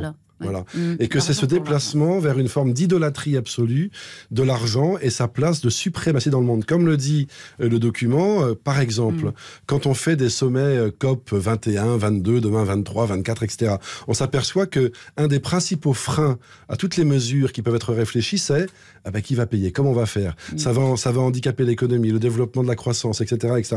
Et donc on voit bien qu'aujourd'hui, la fin ultime de la réflexion, c'est pas sauver la planète, mais c'est comment permettre à la finance de continuer à se développer malgré tout. mm. Et ça, c'est une vraie, une vraie question. Donc en fait, il faut changer de logique. C'est ce que De préconise logique et l'Église. de logiciel, comme on dit aujourd'hui. Ouais. Et donc il y a- y, des recettes donc euh, sont dans, dans ce document qui sont très précises. Par exemple, créer un impôt minimum sur les transactions euh, offshore. Euh, L'Église va, va sans doute choquer aussi parce qu'elle semble mettre en doute la moralité finalement du système. Bah, vous savez, la moralité euh, du Et système. la euh, moralité il y a pas, il y a- du système bancaire, par exemple. Oui, mais parce Bah, qu'il suffit, il suffit de regarder tous les scandales qui peuplent notre actualité quotidienne jour après jour, que vous relayez les uns et les autres Mm. pour voir que cette moralité, elle est quand même un peu douteuse parfois. Euh, dans votre livre, vous, vous avez un chapitre qui est d'ailleurs titré euh, euh, Nous sommes des enfants gâtés. Hein, c'est un livre plaidoyer, un livre très vif, d'une- d'une- un peu plus d'une centaine de pages, euh, qui nous fait réfléchir sur l'accueil des migrants. Mais euh, nous sommes des enfants gâtés, euh, permettez-moi, mais tout le monde n'est pas logé à la même enseigne. Non, bien sûr que non. Il s'agit pas, c'est pas une parole qui se veut culpabilisante pour euh, pour chaque personne en particulier, Vous mais voulez c'est pas nous notre faire la morale société. avec ce livre Non, Vous voulez pas nous faire la morale Pas du tout. Non, non, pas du- Je vais vous faire réfléchir. Je vais vous faire réfléchir. Réfléchir sur la manière dont aujourd'hui on veut envisager notre société. En fait, pourquoi est-ce que nous vivons? Pourquoi est-ce que nous sommes sur cette terre? À quoi est-ce que ça sert tout ça? Est-ce que c'est pour pouvoir accumuler chacun le plus de biens que nous pourrons euh, gratter comme ça, au risque euh, de détruire autour de nous euh, notre planète, au risque de détruire la vie des autres? Ou bien est-ce que nous sommes sur cette terre pour pouvoir la faire fructifier ensemble? Ça peut paraître très naïf, très angélique, mais en un, fait, peu, un peu binaire, quoi. oui, un peu binaire, Ouais. peut-être, peut-être, mais souvent c'est aussi euh, ce qu'on rétorque pour s'éviter de réfléchir. Ah, Vous pensez que c'est une façon d'éviter ce, ce- cette réflexion de, de fond Vous savez, les migrants, vous dites il faut que des voix s'élèvent. Euh, on en parle beaucoup. C'est récurrent, c'est permanent dans le Vous débat. trouvez qu'on en avec la parle tant problématique que ça des migrants. Moi, je trouve que, vous voyez, par exemple, ça fait six semaines qu'il y a un campement euh, Porte de la Villette avec 2000 à personnes Paris, qui sont à Paris, ce sont qui des sont là. arrondissements qui sont sous votre charge. Oui, que j'accompagne. Ça fait six semaines qu'ils sont là. On en parle de manière importante depuis une dizaine de jours dans les médias. C'est-à-dire qu'en fait, il y a, je pense, une espèce de. C'est tellement compliqué, c'est tellement douloureux qu'on ne sait pas très bien comment traiter ce sujet. Et moi-même. Et on le traite mal, du coup Ben, dans, dans le, Pas- dans, le, dans le le débat risque, public le risque, c'est que du coup, on le traite par le silence. Parce que comme on n'a pas vraiment de paroles satisfaisantes à apporter, on n'en en parle pas. On en, en- on en a des On paroles, en et vous entend, le savez on bien en qu'on entend, en mais a. assez peu, assez peu, assez peu, parce que vous avez deux types de discours politiques aujourd'hui qui s'expriment sur les migrants. Le premier, c'est de dire avec nous, euh, ils ne passeront pas, et l'autre qui consiste à dire c'est formidable, c'est l'avenir du monde. Moi, je dis que entre ces deux discours, il y a une voie médiane. Il y a un discours médiane excluant et un discours trop archi accueillant. incluant, archi incluant. au risque de la démagogie, parce qu'on sait bien que, évidemment, un État se doit d'établir un système juridique, un système de contrôle pour le bien de ses citoyens et pour le bien de son peuple. Donc ceux qui disent, parce qu'on les entend, il y en- a effectivement, euh, par exemple sur l'échiquier à, à gauche de la gauche, qui disent il faut accueillir tout le monde. Je veux dire, Non, moi, je pense qu'il ne s'agit pas du tout de dire il faut accueillir tout le monde sans discernement. La la France, comme tous les pays, ont un devoir d'établir des lois qui réglementent un certain nombre de choses, et notamment l'accès sur le territoire. Encore faut-il d'une part appliquer ces lois et les appliquer, et c'est ça mon, mon principal souci, avec humanité et charité. vous, vous les connaissez, vous allez les voir, ces migrants. Oui, bien sûr, bien sûr. Euh, je voudrais vous poser une question pratique. Ceux qui ne sont pas autorisés à rester en France, par Oui. exemple, ceux qui sont déboutés du droit d'asile, qui sont Oui. entrés euh, clandestinement, qui n'ont pas le profil, à, l'évidence, euh, de, de- de rester selon les critères légaux qui sont établis par le gouvernement, il faut les accueillir? Il faut les. Non, mais en les fait, traiter? si vous avez des lois, ces lois, elles doivent être respectées. La question, c'est d'une part l'accès à leurs droits, qui pour beaucoup n'est pas tout à fait garanti. D'abord parce qu'ils ne parlent pas le français, et ensuite parce qu'ils ne sont pas pris en charge quand ils arrivent. Ils arrivent, ils déboulent sur le territoire, ils s'installent sur le bitume quelque part, et puis on les laisse. Voilà. Mm. Alors des associations font beaucoup de travail, vont à leur rencontre, essaient de les, de les acheminer vers les, vers les circuits administratifs, mais enfin c'est un travail de romain, si vous voulez. Mm. Donc il ne s'agit pas de dire open bar, allons-y, ouvrons, et puis on s'en fiche, mais de dire on a une responsabilité par rapport à ces gens qui, même s'ils doivent repartir chez eux, nous ne pouvons pas les mettre dehors comme des chiens. Mais qu'est-ce que, par exemple, euh, Gérard Collomb, euh, ministre de l'Intérieur, dit il ne faut pas faire des points de fixation. Oui. Hein, Sous-entendu, après, ça fait des appels d'air, etc. Les migrants euh, s'installent et puis il y en a d'autres qui arrivent. Ça, c'est c'est une approche qui vous choque ou mais, pas mais l'appel d'air. Non, le point de fixation. Mais oui, mais le point de fixation, c'est un, un vocabulaire militaire. On n'est pas en guerre. On n'est pas en guerre. C'est pas une guérilla urbaine dont il s'agit. Ce sont des hommes et des femmes qui viennent. Peut-être ont-ils pas le droit de venir et de rester chez nous, mais en aucun cas ils ne sont des criminels et des, et des causeurs de troubles. On les traite comme pas. ça? Mais en tout cas, en, en- en utilisant ce vocabulaire-là, les mots ont un sens. Quand on parle de jungle à Calais et qu'on s'étonne que les gens, au bout de quelques mois, deviennent comme des bêtes sauvages. Quand on dit on va laisser pourrir une situation et qu'on s'étonne qu'à la fin, les gens finissent par vivre au milieu d'ordures et se conduisent d'une manière sauvage, les mots ont un sens. Les points de fixation, ça n'est pas la réalité de ce qui se passe. Dans cette affaire de migrants à Paris, au nord de Paris, euh, d'un mot, les autorités sont défaillantes, elles ne font pas face aux responsabilités, elles ne sont pas humaines.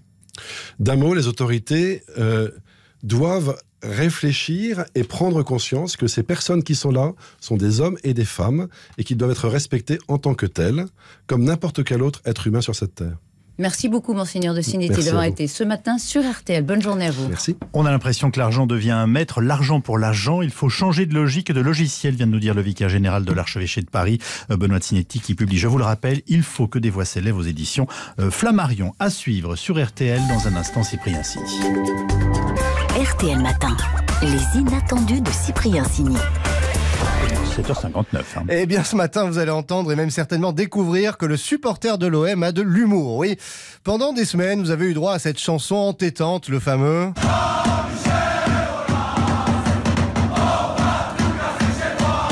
Jean-Michel Aulas, on va tout casser chez toi, qui a fait trembler le président lyonnais et les autorités. Sauf que l'hécatombe annoncée par certains n'a évidemment pas eu lieu et que l'OM a pris une leçon sur le terrain. Résultat, eh bien, le supporter de l'OM et l'humoriste marseillais Baba Duri a un peu modifié les paroles de la chanson. Écoutez, c'est joli comme tout. Nos excuses au las, nos excuses au las, on s'y fait casser chez toi. Nos excuses au las, on s'en est pris trois chez toi. Nos excuses oula, on recommencera pas. En revanche, je suis pas certain qu'elle ait autant de succès que la précédente version dans les travées du Vélodrome demain soir. Ça, c'est sûr. Cyprien Ciné, RTL, il est 8h. RTL Matin, Yves Calvi. Jérôme Florin. Bonjour Jérôme. Bonjour Yves, bonjour à tous. À la une, les secours condamnés dans le Nord, ils avaient tardé à intervenir. Les pompiers et l'hôpital de Roubaix devront dédommager la famille d'un homme victime d'un AVC. Il est toujours en vie mais lourdement handicapé. Dans l'actualité également, Gérard Collomb pris dans les phares. Le ministre de l'Intérieur a sorti son joker sur les 80 km heure lors d'un meeting. La mesure doit s'appliquer dès le 1er juillet. Dernier jour pour passer le contrôle technique sans majoration. Il change ce contrôle à partir de lundi, ce sera plus cher. Les industriels de l'agroalimentaire ont-ils euh, respecté leur promesse de lutter contre l'obésité Ce sera la question du 8 heures. Meghan et Harry demain, ce sera évidemment l'événement à Windsor. Les fans campent près du château depuis deux, trois jours maintenant. Congratulations and celebrations. Prince Harry and Meghan's wedding day. Et à 8h20, notre grand débat, qui est le vrai leader de l'opposition aujourd'hui en France? Nous serons avec Anne Rosencher et Alain Duhamel. La météo, Louis Badin Oui, avec un temps de plus en plus agréable, hein, de plus en plus de soleil sur euh, la France. Ce matin, donc, on a retrouvé du temps sec partout. Voilà, première bonne nouvelle. Cet après-midi, le soleil s'imposera encore quasiment partout.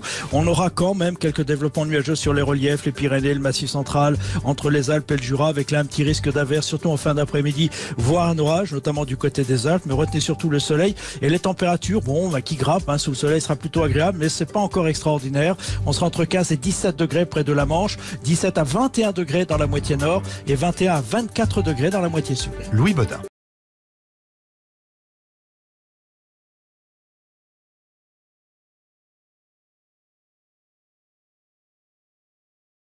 Jusqu'à 9h30, RTL Matin. C'est une décision de justice qui interpelle en pleine affaire Naomi, cette jeune femme dont l'appel au SAMU n'avait pas été pris au sérieux. Les pompiers du Nord et l'hôpital de Roubaix viennent d'être condamnés à verser plus de 300 000 euros à la famille d'un homme aujourd'hui lourdement handicapé. Il a 38 ans, il avait été victime en 2012 d'un AVC. L'opérateur de permanence avait tardé à réagir. Le tribunal administratif de Lille vient de donner raison à ses parents, Franck Hanson. Oui, cela fait six ans qu'ils ont entamé ce combat, désormais jour et nuit, aux côtés de leur fils lourdement handicapé. Brigitte et Jean-Michel Blard restent dignes, mais enfin la responsabilité des secours est reconnue. C'est une reconnaissance qu'il y a eu des erreurs. C'est un tsunami pour nous. Une famille qui est complètement euh, balayée. Et cette personne, on ne peut pas complètement l'incriminer, le, le secouriste là. Aucun triomphe, aucune gloire dans, à travers cette histoire. Hein. Il est dépendant quand même à 90%, Christophe. hein. Christophe ne bouge pas. Il y a les soins, il y a tout. C'est les toilettes, c'est à manger. Pour le service d'incendie et de secours du Nord, la réponse de l'opérateur était adaptée et respectueuse au vu du nombre important d'appels en pleine canicule. Des arguments rejetés par l'avocate de la famille, Blandine Lejeune. S'il avait été pris en charge immédiatement, il aurait été légèrement handicapé peut-être, mais il n'y aurait certainement pas eu toutes ces séquelles. Quand mon client dit qu'il va peut-être se rendre aux urgences, l'opérateur le lui déconseille en lui disant qu'il va perdre son temps, qu'il y a certainement du monde et qu'il ferait mieux de rentrer chez lui et de boire de l'eau parce qu'il a pris un coup de chaud. Mal conseillé, Christophe a aussi été mal pris en charge à son arrivée à l'hôpital de Roubaix. Plus de 3 heures et demie de retard aux conséquences désastreuses. Franck Hanson. Son nom est associé à l'une des plus grandes erreurs judiciaires françaises. Marc Machin avait été acquitté en 2012 après avoir fait de la prison pour un meurtre qu'il n'avait pas commis. Eh bien, le voilà rattrapé par la justice. Marc Machin est interpellé, a été interpellé pour viol et vol dans le 11e arrondissement de Paris. RTL matin, 8h04. Gérard Collomb n'est pas très allant sur les 80 km h L'abaissement de la vitesse sur le réseau secondaire sera effectif à partir du 1er juillet, mais le premier flic de France n'est visiblement pas à l'aise avec cette mesure qui fait bondir de nombreux élus locaux. Écoutez, c'était lors d'un meeting hier soir à Rungis. Question euh, routière sur euh, les 80 km/h. Euh, J'aimerais bien avoir votre position. Je prends un joker sur la question suivante et je passe directement au radar embarqué. Gérard Collomb sur BFM Télé. Consternation ce matin de Claude Gau. Il est accidentologue. Il est avec Yann Boucherie.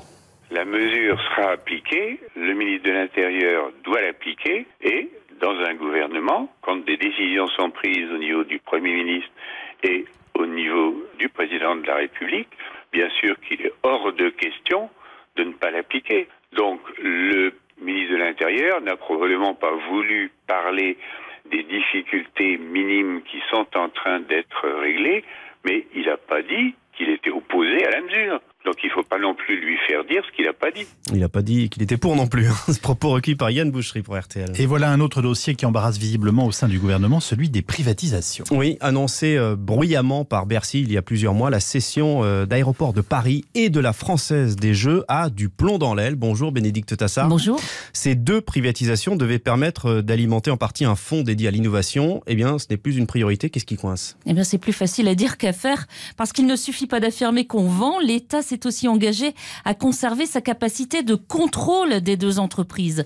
Prenons d'abord la Française des Jeux. Les pouvoirs publics en détiennent 72%. Et avant de s'alléger, ils veulent tout faire pour éviter le développement excessif des Jeux en France. Aéroport de Paris, c'est encore plus compliqué. L'État en détient 50,6%. Il veut vendre une partie des actifs de Roissy et Orly. Mais il faut également rester décideur en matière de sécurité, de frontières, de tarifs aéroportuaires. Le gouvernement veut aussi conserver le terrain sur lesquels sont implantés les aéroports. Donc, on n'est pas prêt. Voilà pour les questions techniques. Il y a aussi la politique. D'après les échos, ce matin, Matignon hésite à parler privatisation en pleine grogne sociale. Conséquence, ce volet cession d'actifs devait être inclus dans la loi Pacte, déjà repoussée deux fois et qui est maintenant prévue pour le Conseil des ministres du 20 juin prochain. Une loi essentielle à la transformation de l'économie, selon Bruno Le Maire, qui ne veut plus attendre. Ça se fera donc sans les privatisations. Merci Bénédicte Tassard. Et de 10 dixièmes séquences de grève aujourd'hui à la SNCF, un peu plus d'un TGV et un RER sur deux en circulation, deux TER sur cinq. La justice doit par ailleurs se prononcer dans la journée sur le recours des syndicats contre le mode de calcul des jours de grève choisi par la direction qui considère que le mouvement qui doit s'étaler en alternance jusqu'à fin juin n'est qu'un seul et même préavis, ce qui est beaucoup plus euh, pénalisant évidemment pour les cheminots qui débrayent. RTL matin 8h07. Le contrôle technique change à partir de lundi. Si vous voulez éviter de payer plus cher, il ne vous reste plus que quelques heures pour passer au garage. Ce contrôle obligatoire va se durcir. Pourquoi? Eh Bien parce qu'il y aura notamment plus de points à vérifier, 133 au lieu de 124 aujourd'hui. Résultat, plus de temps de travail et donc une facture qui devrait augmenter de 15 à 20% Illustration concrète de ce qui va changer avec ce reportage de Mathilde Bénezet à Courbevoie. Dixième contrôle technique de la journée pour Pascal d'Oliveira. Une fois ses gants enfilés, 20 minutes lui suffisent pour vérifier la BMW verte qui vient d'arriver et le bilan tombe. Bah, sur ce véhicule, on a donc une déformation importante du berceau monteur. Une- Effectivement, demain, nouvelle réglementation, il faudra faire réparer ce point-là. On a quasiment tout l'éclairage à l'arrière gauche qui ne fonctionne pas. Donc ce seront aussi des défaillances qui pourront être critiques. Une mauvaise nouvelle pour Béatrice Hardy qui va devoir décrocher une contre-visite en un temps record. Hop, alors je vais pas faire durer sur le suspense. Votre véhicule est soumis à contre-visite. Attention, vous vous retrouvez là cette année dans un cas très particulier. La réglementation change au 20 mai. Donc il faut faire faire les réparations et reprendre rendez-vous pour la contre-visite dans ce délai. Ça dépend des réparations que vous me demandez. Ouais, le garage, il va pas, je pense qu'il n'y a pas que moi. hein. Ce sont des frais supplémentaires dont je pourrais me dispenser. hein. Petit lot de consolation, Béatrice aura payé sa visite 75 euros au lieu de 85 après le 20 mai. Reportage de Mathilde Bénezet. Après la pause, Meghan et Harry, un mariage princier qui pourrait faire sauter les plombs. On vous dit tout dans un instant. RTL Matin. RTL 8h10, la suite du journal Jérôme Florin, Yves Calvi. Le grand jour, The Big Day, c'est donc demain au Royaume-Uni le mariage du petit dernier de Charles et Diana, Harry, avec Meghan Markle. Et voilà ce que l'on entend ce matin près du château de Windsor. Congratulations and celebrations. Prince Harry and Meghan's wedding day. Et il serait temps qu'elle commence hein, cette euh, cérémonie. Certains fans comme Terry que vous entendez là euh, campent depuis euh, trois jours sur les trottoirs de Windsor en espérant être au plus près du passage de la calèche. J'ai tellement hâte, tellement hâte d'être le grand jour. J'ai un drapeau américain pour symboliser Meghan et un drapeau anglais qui représente Harry. Ils font partie de ma famille, de ma vie, ils font partie de nos vies à tous. Harry, c'est le portrait craché de Diana, sa mère, je suis fier de lui. Et Meghan, j'ai un message pour elle. Meghan, quand tu auras divorcé de Harry, épouse-moi, mon amour pour toi est si fort. Le message. Le message est passé ce matin sur RTL grâce à Marie Mollet à Londres pour, euh, pour RTL. Le mariage de la belle métisse américaine avec le petit prince au British est l'événement de l'année outre-Manche, bien évidemment. Elton John sera au piano, c'est un fidèle. Il avait, été, il avait chanté aux obsèques de Diana. Et pour le code vestimentaire, c'est chapeau pour tout le monde. Du grand spectacle teinté de suspense en plus. On ne sait toujours pas qui accompagnera la mariée à l'hôtel puisque son père ne sera pas là. Et, et qu'on ne sait pas non plus si Harry aura toujours sa barbe. Les hommes de la famille royale en tenue militaire se marient toujours glabre. Alors vous le voyez, le suspense est insoutenable. Et les téléspectateurs seront donc au rendez-vous, ce qui fait craindre le pire aux fournisseurs d'énergie. Marie Billon. En 2011, pour le mariage de Katie Williams, ils étaient plus de 24 millions de téléspectateurs britanniques devant leurs écrans et c'était un vendredi. Harry et Meghan se disent oui un samedi. Les téléviseurs devraient donc chauffer encore plus fort. Le fournisseur d'énergie National Grid s'attend à des pics de consommation, surtout au moment clé. Les Britanniques allumant leur télé pour voir l'arrivée de la mariée et quand le couple échangera ses vœux. Et juste après qu'il se soit dit yes, la compagnie compte aussi sur l'ouverture simultanée de milliers de frigos pour sortir le champagne et trinquer au jeunes mariés. Mais nous sommes au Royaume-Uni, alors ce sont surtout les bouilloires qui vont être mises à contribution avant la messe pour ceux qui veulent s'installer sur le canapé avec un thé chaud pour regarder la cérémonie. Et juste après, National Grid s'attend à un pic de 1200 mégawatts, l'équivalent de 480 000 bouilloires en action en même temps. Marie Billon. Et Sweden Royal sera à vivre demain sur RTL à partir de midi et demi avec Vincent Parisot, entouré de Fabrice Dalmeda et d'Henri-Jean Servat, euh, et Mister Stéphane Bern à 8h50 chez euh, Bernard, Bernard. Deuxième rencontre depuis euh, novembre entre Vladimir Poutine et Bachar el-Assad. Les présidents russes et syriens se sont vus hier à, à Sochi pour évoquer la reprise du dialogue politique pour mettre fin à la guerre en Syrie. Poutine doit voir aujourd'hui euh, Angela Merkel et prochainement Emmanuel Macron. RTL 8h13. En France, près de 2 adultes sur 10 souffrent d'obésité. On en parle à l'occasion de la 9e édition des journées européennes consacrées à cette pathologie qui touche autant les hommes que les femmes d'ailleurs, surtout après 60 ans. Plusieurs plans de santé publique ont été lancés ces dernières années pour améliorer l'état de santé de la population, dont le programme national nutrition santé ou encore le plan obésité. Les industriels de l'agroalimentaire avaient promis de faire des efforts. Ont-ils joué le jeu? Eh bien, c'est la question du 8 heures. Avec vous, Elodie Guillard, bonjour. Bonjour. Alors, les produits que nous mangeons sont-ils moins gras, moins sucrés, moins salés? Alors oui, il y a certains produits pour lesquels les industriels ont vraiment réussi à améliorer la composition. La teneur en sel, par exemple, moins 32% dans les soupes, moins 19% dans les plats préparés. Il y a aussi 31% de sucre en moins dans les compotes ou encore moins 5% dans les sodas. Et puis certaines portions ont même diminué. Le petit paquet de chips est passé de 200 à 150 grammes. Autre exemple, une célèbre barre chocolatée au caramel a été un peu allégée, si on peut dire, de 50 à 42 grammes. Donc tout va bien, on a l'impression que tout ce qu'on trouve en supermarché est désormais bon pour la santé. Eh bien non, car ce que je viens de vous dire, c'est un peu l'arbre qui cache la forêt. Il y a des progrès, mais cela concerne en fait une petite poignée d'industriels volontaires et donc une infime partie des produits que vous allez trouver en rayon. Sur un mur entier de barquettes de jambon blanc, il y en aura un ou peut-être deux avec moins de sel. Il faudrait consommer uniquement ces produits pour que cela ait un effet positif sur votre santé. Alors que faut-il faire pour aller plus loin et améliorer vraiment la situation bah, Il faudrait contraindre les industriels, imposer par exemple une teneur maximum en sel ou en sucre dans un plat préparé. En fait, c'est le même problème que pour l'étiquetage nutritionnel de couleur Nutri-Score dont on parlait la semaine dernière. Tant que ce n'est pas obligatoire, les industriels ne sont pas vraiment pressés de jouer le jeu. La question de 8 heures avec Elodie Guillard. Ils sont donc 23, ils porteront les espoirs de la France en Russie. Didier Deschamps a dévoilé sa liste. Il y a les bleus et les verts, verts de rage, hein, ceux qui n'ont pas été retenus ou qui font partie des 11 réservistes comme Adrien Rabiot du PSG, jugé encore trop léger. Et parmi les heureux élus, beaucoup de jeunes. La plupart n'étaient pas au casting de l'Euro 2016. C'est le cas de Kylian Mbappé ou de Prenel Kempembe, 22 ans au Paris Saint-Germain. Il n'a joué que 10 minutes en sélection fin mars contre la Russie.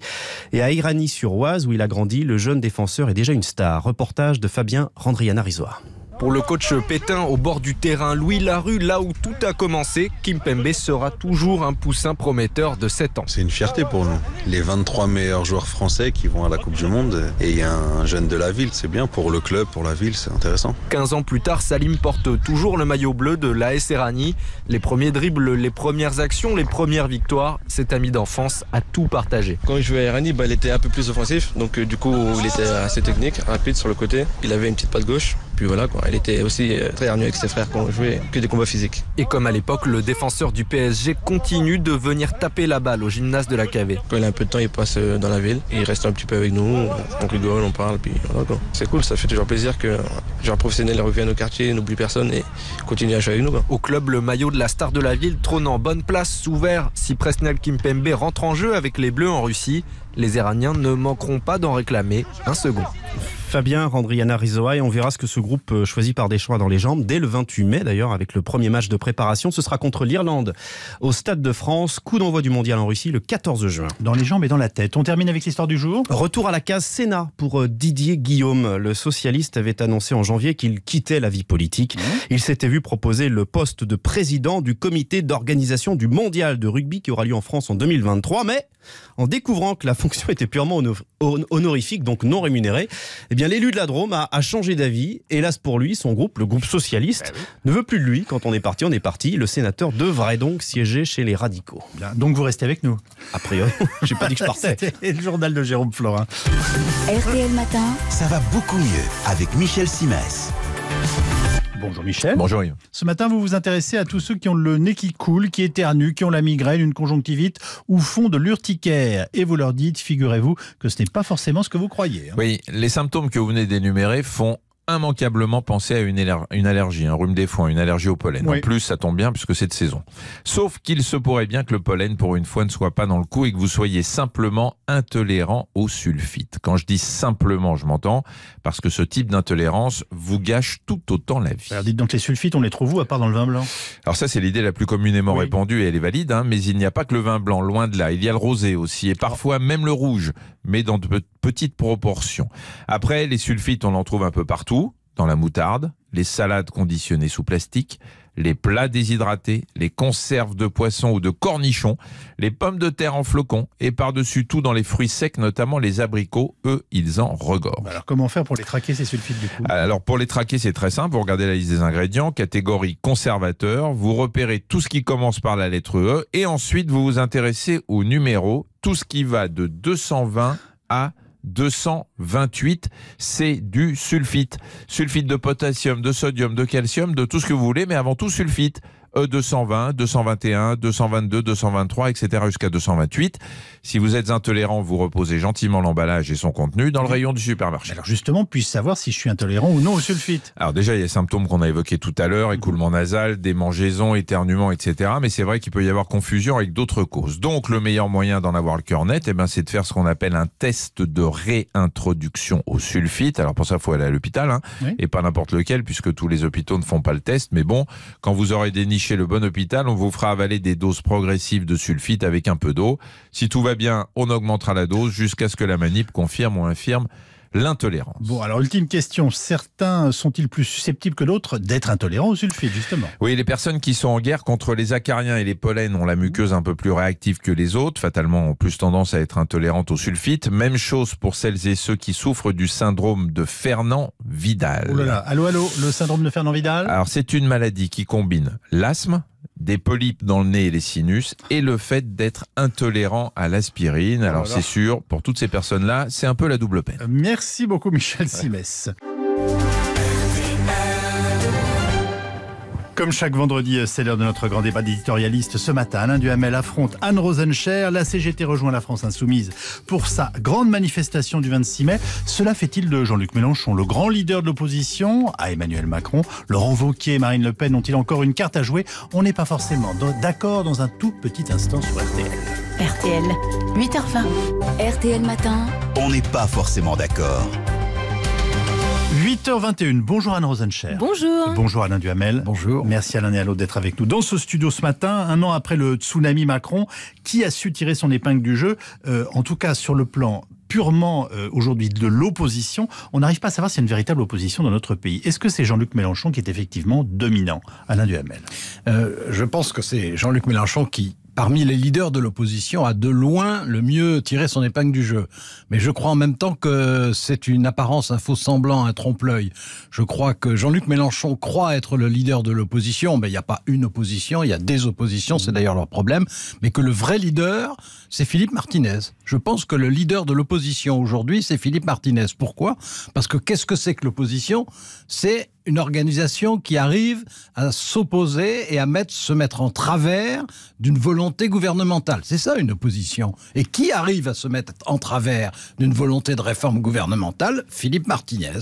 Donc Philippe Martinez, leader de l'opposition politique. Et j'ajoute, il me donne tellement raison que, contrairement à la tradition de la CGT depuis en tout cas au moins 20 ans, il a accepté de participer avec la CGT à des défilés qui sont des défilés organisés par des politiques.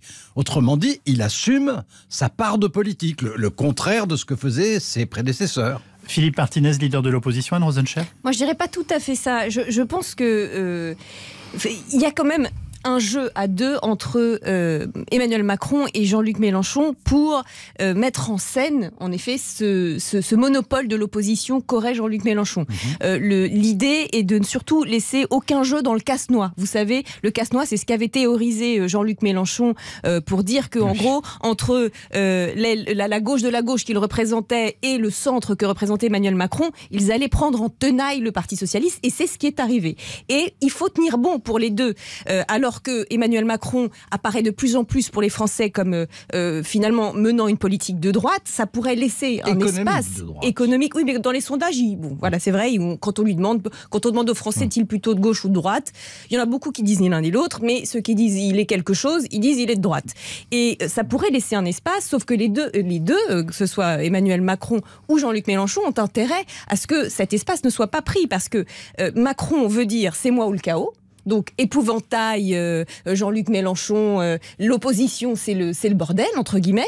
Euh, et bien sûr, bah, Jean-Luc Mélenchon en profite. Mais là où je suis d'accord avec Alain, je vais lui laisser la parole parce que j'y reviendrai, c'est que je pense que c'est un trompe-l'œil en termes en tout cas de, de paysage français politique. Quand, Philippe Martinez, pardonnez-moi Alain Duhamel, je vais dans votre sens, mais accepte finalement de défiler ou de préparer un, un, projet de manifestation avec la France insoumise. C'est un aveu de faiblesse. Non, non, non, c'est pas un neveu. Alors, il y, a, une part de tactique qui est qu'il ne sait pas comment il sortira de la grève de la SNCF. Et donc, le, fait de se mettre dans un mouvement général, d'une certaine manière, ça atténue ses responsabilités en cas d'échec. Il y a ce côté tactique. Mais sur le fond, ce que vient de dire Anne va totalement dans mon sens. Parce que s'il y a un jeu de rôle entre Emmanuel Macron et Jean-Luc Mélenchon, c'est-à-dire... Euh, Emmanuel Macron est le président idéal à attaquer pour Jean-Luc Mélenchon et Jean-Luc Mélenchon est le repoussoir formidable pour Emmanuel Macron.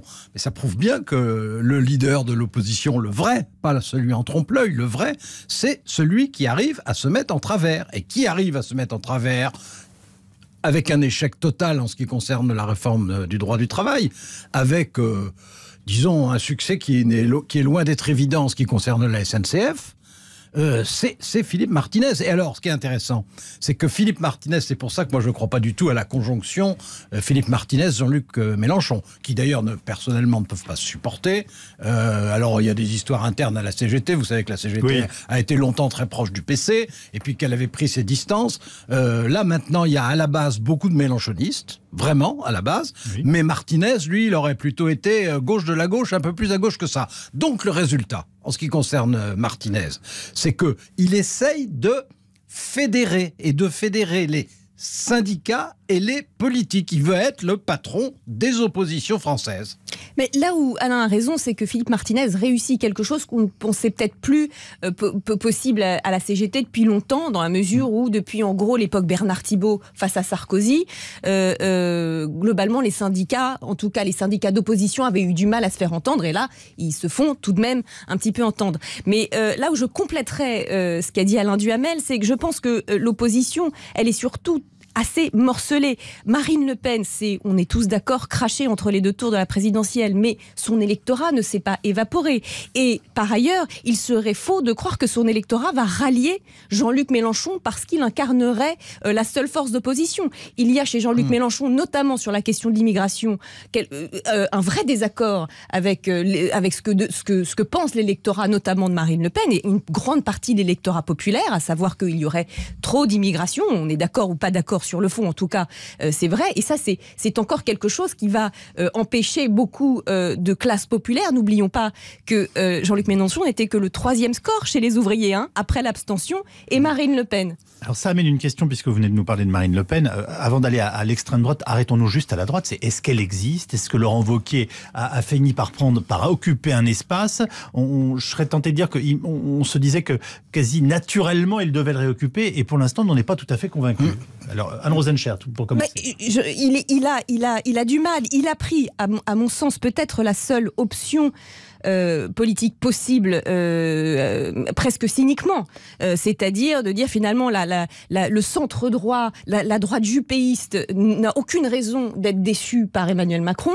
Donc ça sert à rien que j'aille essayer de, le récupérer. Et je vais aller plutôt essayer de faire le hold-up qu'avait fait Nicolas Sarkozy sur l'électorat du Front National. Sauf que ça ne prend alors après, on est au début, euh, mais je, pense qu'il va avoir beaucoup de mal, et notamment les prochaines élections sont des élections européennes, où il va être obligé de tenir un discours qui n'est pas du tout traditionnel dans la droite classique. Je ne sais pas très bien comment il va sortir de cette ornière-là. Alain Duhamel. Alors deux choses. La première, c'est que, alors je reviens à mon Martinez, le, propre de la situation de l'opposition, c'est que si vous ajoutez tous les électorats de l'opposition aujourd'hui, l'opposition est majoritaire en France aujourd'hui. Ça n'est pas Macron, c'est l'opposition. Mais elle est tellement fragmentée qu'elle ne peut pas se rassembler. Donc c'est une opposition majoritaire et impuissante. Ça, c'est la première chose. La deuxième, en ce qui concerne Vauquier, Vauquier est très intelligent, Vauquier est très cultivé, donc Vauquier est très cynique. Euh, quelqu'un d'intelligent, comme il l'est, qui dit des choses euh, aussi primaires que celles qu'il exprime et qui ment sans arrêt, comme il l'a encore fait hier soir, comme il a encore fait hier soir de façon spectaculaire quand il a expliqué que la loi sur la sécurité qui a été votée à la fin de l'année dernière était une loi qui retirait des pouvoirs à l'exécutif, alors que c'est très exactement le contraire. Et que d'ailleurs, la gauche était très émue. Euh, exagérément émue, hein, mais enfin elle était très émue, donc c'était bien la démonstration. Bon, donc c'est un cynique. Euh, il, commet, à mon avis, deux erreurs en plus. La première, c'est que euh, il regarde la droite comme si euh, la droite, je parle de la droite de gouvernement, mhm. comme s'il y en avait que deux qui avaient en gros Juppé et lui. C'est pas vrai du tout. Il y a des modérés, il y a des libéraux, il y a des conservateurs et il y a des populistes. Bref, ce qui a toujours fait la droite française. Absolument. Et lui, il s'adresse aux populistes de façon efficace puisqu'il leur ment, c'est parfait, ils attendent ça, ils croient ça, très bien. Euh, les, les, modérés se sont enfuis depuis longtemps les libéraux ont peur parce qu'ils ne le prennent pas pour un libéral, et les conservateurs sont choqués par son côté, euh, disons, euh, gamin mal élevé. Mmh. Donc euh, finalement, il, se fabrique une espèce de vocation minoritaire. Et puis il y a autre chose, c'est que LR, c'est le descendant de l'UNR, de l'UMP, bref, du parti gaulliste qui s'identifie, abusivement d'ailleurs, mais qui s'identifie à la Ve République. C'est un parti dans lequel le leader doit être, doit être, doit avoir un profil, doit avoir une ambition d'homme d'État. Et lui, il se présente comme un sniper. Ben, c'est pas du tout la même chose. Est-ce que ça bouge un petit peu du côté de Nicolas Dupont-Aignan, de Florian Philippot? Je vous dis ça parce que la situation de Marine Le Pen, en fait, on l'a compris, pour l'instant, elle est stable, il se passe pas grand-chose, elle se remet pas vraiment de son débat. Mais elle garde son électorat. Mmh, oui. Mais elle garde son électorat. Oui. Enfin, pas tout, mais c'est vrai que euh, ce qui est ah. intéressant, c'est que dans les sondages sur, la, sur, la, sur, les, sur les, européennes. elle est toujours en deuxième position. Hein. Bah Attention, on a commencé en disant est-ce que. Elle est donc la deuxième force politique en France je crois. Euh, probablement toujours, oui. En tout cas, en termes de pour rassembler dans un électorat, euh, il semblerait, en tout cas selon les sondages. Après, en tout cas, c'est possible. Voilà, c'est mais dans ce cas-là, ça atteste du fait qu'elle est finalement, c'est elle l'opposition. Oui, mais sauf que ce qui s'est passé quand même euh, entre les deux tours fait que je pense que en tout, en politique, on n'est jamais mort tant qu'on n'est pas mort, mais elle a quand même vraiment obéré euh, son image de présidentiable. Je, pense que dans les, elle reste euh, la seule à pouvoir avoir le, le, le, réceptacle d'une certaine colère que n'a que n'a pas forcément Jean-Luc Mélenchon, notamment sur les questions d'immigration, d'identité, etc. Néanmoins, je pense que en termes d'avenir, c'est compliqué. La chose intéressante sur, Nicolas Dupont-Aignan, c'est que moi, voyez-vous, j'aurais parié qu'il euh, n'aurait pas pu se relever de son, ralliement euh, à Marine Le Pen pendant les deux tours de la présidentielle. Je pensais qu'il s'était grillé, que soit ça marchait, soit c'était mort pour lui. Et j'avoue que le fait que dans les sondages, finalement, il soit pas euh, à zéro euh, et quelques, et qu'il ait réussi à se faire élire lui-même, et que, etc., je, je me dis, c'est quand même le symptôme que la dédiabolisation continue de fonctionner, entre on, guillemets. On conclut avec vous, Alain Duhamel.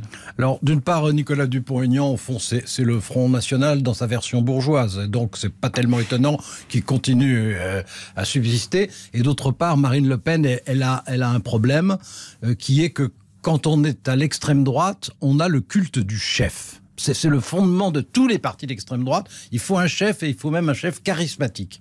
Et elle croyait être un chef charismatique. On s'aperçoit qu'elle est beaucoup moins charismatique qu'on l'imaginait. Et dans ces conditions, c'est très difficile d'être un chef. la vraie petite star en essence, mais on ne sait pas ce qu'elle va faire et si elle va décider de revenir, c'est Marion Maréchal Le Pen. Les oppositions. RTL 8h35. C'est le moment de retrouver Jérôme Chapuis pour les essentiels de l'actualité. La foule déjà ce matin à Windsor, plus de 24 heures avant le mariage princier, des milliers de personnes affluent vers la petite ville à une trentaine de kilomètres de Londres pour assister demain au passage du prince Harry et de Meghan Markle. Parmi eux, Chantal, elle est venue de Bourgogne, elle campe dans la rue depuis trois jours et trois nuits. J'ai peur de perdre ma place. Ben, ici, on est pas mal parce que là, ils descendent et la rue est pas large et je pense qu'on pourrait presque les toucher. Et moi, ça me donne la chair de poule. Donc, euh, on pose sa place et on la garde. Chantal avec Marie Mollet, une des envoyées spéciales de RTL à Windsor. Deux nouvelles arrestations dans l'enquête sur l'attentat du quartier de l'Opéra de jeunes femmes. L'une d'elles avait épousé religieusement l'homme qui était en garde à vue depuis trois jours. Ce camarade de lycée du terroriste a été écroué hier soir à l'issue de son interrogatoire. Marc Machin, arrêté dans le cadre d'une enquête pour viol, victime d'une erreur judiciaire il y a quelques années, il avait été relâché après l'annulation d'une condamnation pour meurtre. Il aurait forcé une femme à une relation sexuelle au cours d'un cambriolage le mois dernier dans le 11e arrondissement de Paris. Le débat sur l'abaissement de la vitesse sur les routes secondaires relancé par un petit mot du ministre de l'Intérieur, Joker. Gérard Collomb a refusé de défendre le passage aux 80 km/h prévu pour juillet prochain. Un signe qui ne trompe pas selon Pierre Chasseret de l'association 40 millions d'automobilistes. J'ai l'impression que cette petite phrase n'est pas anodine. Ça signifie que le ministre de l'Intérieur, lui, est vraiment opposé aux 80 km/h. Je pense que Gérard Collomb n'a pas du tout, mais pas du tout envie de se retrouver pieds et poings liés dans une mesure qui salue l'opposition de 80% des Français. Ça gronde de partout. La France est en train de se soulever gentiment. Il y a lui, il y a Gérald Darmanin, euh, il y a le ministre de la Cohésion des Territoires. Il y a énormément de ministres qui ont pris leur distance avec le Premier ministre sur cette question. Donc stop, il va falloir à un moment donné que ça cesse. Peut-être qu'enfin on va écouter les Français. Dixième séquence de grève à la SNCF aujourd'hui et demain. Un peu plus d'un train sur deux pour les TGV et les RER, deux sur cinq pour les intercités et les TER. Légère amélioration par rapport à lundi. Et puis l'équipe de France de football sera l'une des plus jeunes sélections euh, à la prochaine Coupe du Monde. Plus de la moitié des 23 joueurs retenus hier soir par Didier Deschamps pour le voyage en Russie n'ont jamais participé à cette compétition. La moyenne d'âge est de 25 ans. Les essentiels nous étaient proposés par euh, Jérôme Chapuis. Louis Baudin, on se prépare un beau week-end de Pentecôte? Ah, exactement. On en a les prémices aujourd'hui avec le retour déjà ce matin d'un temps sec partout. Il y a longtemps que c'était pas arrivé. Tout cela avec du soleil. Bon, il y a bien ici ou là quelques nuages bas, quelques brouillards, notamment autour de la vallée de la Garonne ou encore euh, dans le centre. Mais tout cela va vite se dissiper. En cours d'après-midi, le soleil se montrera partout. Il sera même largement dominant dans la moitié nord, près de l'Atlantique, sur les bords de la Méditerranée. Bon, il partagera le ciel avec quelques nuages entre les Pyrénées, le Massif central et les frontières de l'Est, voire avec une averse, un petit orage possible en toute fin de journée, seulement sur les reliefs, en pleine donc du soleil, puis les températures qui grimpent petit à petit, même ça sera encore un petit peu juste cet après-midi près de la Manche avec 15 à 17 degrés seulement. On aura 17 à 21 degrés dans les autres régions de la moitié nord et 21 à 24 degrés dans le sud, mais ça sera encore mieux pour le week-end. On se retrouve juste avant 9h pour la météo à 7 jours. Ah bah oui. La météo d'aujourd'hui et les prévisions à 3 jours sont dans le Parisien et aussi sur rtl.fr. La curiosité du jour sur RTL. Et au menu de votre curiosité, Sidonie Bonnec, un grand monsieur qui a fait beaucoup, mais alors beaucoup de bruit. Oui, bonjour, bonjour à tous. Le baron Haussmann, c'est la star parisienne de la fin du 19e siècle. Préfet de la Seine sous le Second Empire, on lui confie une mission, relooker en profondeur Paris. Je peux vous dire qu'il y a du boulot. La ville n'a pas changé depuis le Moyen Âge. Les Parisiens sont entassés, ils n'ont pas d'eau, beaucoup vivent dans 3 mètres carrés. Les ruelles sont sombres, malfamées et sales. 16 ans de travaux, c'est ce que vont vivre les Parisiens pour obtenir 10 mètres carrés en moyenne par habitant, en tout cas au minimum. Des habitations avec le tout à l'égout, donc de l'eau, et aussi des espaces verts, des parcs comme le bois de Boulogne. C'était un sacré monsieur, le baron Haussmann. Mais figurez-vous qu'il était baron, comme vous et moi. Il s'est arrogé ce titre à la mort de son grand-père maternel, le baron d'Empire, Georges Denzel. Que voulez-vous Haussmann voulait un titre à sa mesure. Il se rêvait aussi ministre de l'Intérieur. Mais Napoléon III s'y opposa et lui enleva même ses fonctions quelques mois avant la chute de l'Empire. La politique n'aime pas toujours les ambitieux. Mais qu'importe, le baron Haussmann a gagné son pari. Paris embelli, Paris agrandi, Paris Assaini. Les prouesses du baron Haussmann à découvrir dans la curiosité à 14h avec Thomas Hugues et Sidonie Bonnec. Dans un instant, c'est la revue de presse d'RTL avec Amandine Bégaud. RTL 8h40. Sur citroën.fr. RTL Matin. Avec Yves Calvi. Dans quelques instants, à l'orée de votre week-end, Monsieur Laurent Gérard et toute son équipe. Mais tout de suite, notre revue de presse. Il est 8h41 et la presse nous donne ce matin, Amandine, des idées pour notre week-end. Oui, et je vous emmène d'abord à Paris, dans le quartier de la Villette, à la découverte des vestiges des abattoirs parisiens. Inauguré en 1867, il s'inscrivait à l'époque dans le cadre d'un projet hygiéniste, puisqu'il mettait fin à des années d'écarissage au beau milieu de la voie publique. Mais très vite, ces abattoirs sont devenus le théâtre d'activités un peu louches. Au début du XXe siècle, par exemple, les jeunes mères de famille n'hésitaient pas à payer très cher pour un bon bol de sang chaud. un bon bol de sang chaud. Parfait remède, disait-on à l'époque, pour ragaillardir les enfants anémiés. J'ai découvert ça en feuilletant ce matin le hors-série du Parisien, qui est consacré au, Paris d'Haussmann. On en parlait euh, à l'instant avec Sidonie Bonnec, le Paris euh, d'Haussmann, qui sera le thème tout à l'heure de la curiosité, est un vilain défaut cet après-midi euh, sur RTL. Demain, toujours sur RTL, l'événement, ce sera bien sûr ce mariage royal, édition spéciale des 12h30. Un mariage qui bouscule la monarchie britannique, nous dit ce matin le Figaro. Un prince qui épouse une métisse, divorcée qui plus est américaine. L'opinion y voit, écrit le journal, le symbole de la modernisation de la famille royale un moyen aussi de faire évoluer les mentalités. Car si aujourd'hui en Grande-Bretagne, un couple sur dix est mixte, 12% des Britanniques condamnent cette union entre Harry et Meghan pour ces raisons justement. Un Anglais sur quatre reconnaît même ne pas souhaiter une chose pareille pour ses enfants. L'événement en tout cas euh, outre-Manche fait la une de tous les journaux. L'image des futurs mariés qui quittent Londres pour Windsor et ce matin partout, hein, à la une des tabloïds bien sûr, le Sun, le Daily Mirror, mais aussi la presse sérieuse comme on dit, le Times, le Guardian ou encore le Daily Telegraph il faut dire que ce mariage fait vendre il pourrait rapporter gros plus d'un milliard de livres sterling sur l'année, dit ce matin le quotidien Les Échos. Un milliard 140 millions d'euros, ce n'est pas rien. Alors il y a bien sûr les produits dérivés, les mugs, les timbres, les t-shirts, mais aussi figurez-vous des préservatifs vendus 14 dollars le pack dans un étui bleu à l'effigie des mariés. Le nom de l'entreprise qui les commercialise est, de tout aussi bon goût puisqu'elle s'appelle Crown Jewels, les bijoux de la, couronne. Ça ne s'invente pas. Ces préservatifs et autres produits dérivés, en tout cas, toujours selon les échos, devraient rapporter 50 millions de livres auxquels il faut ajouter les ventes de boissons et d'alimentation. Lors du mariage de Kate et William en 2011, les spécialistes avaient chiffré à 500 millions de livres les retombées sur les dépenses des ménages.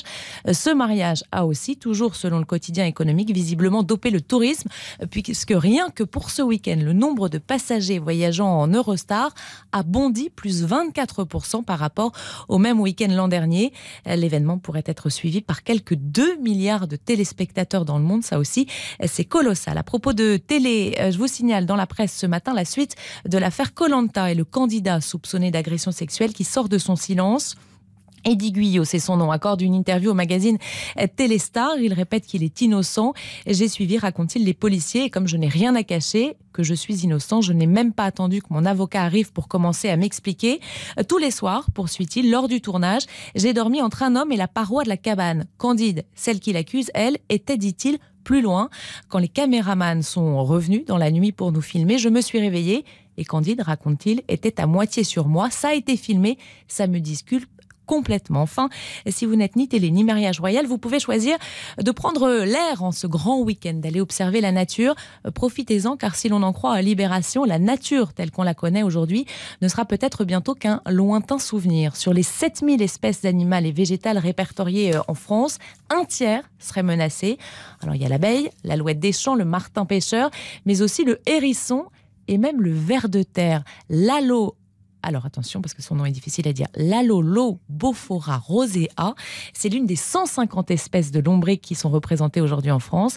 Eh bien, elle a vu sa population divisée par 4 à cause, bien sûr, de l'agriculture intensive. Je vous l'accorde, ce n'est pas très appétissant, pas plus que mon histoire d'abattoir parisien, mais qu'importe, c'est très sérieux. On ne pourra pas toujours s'en tirer.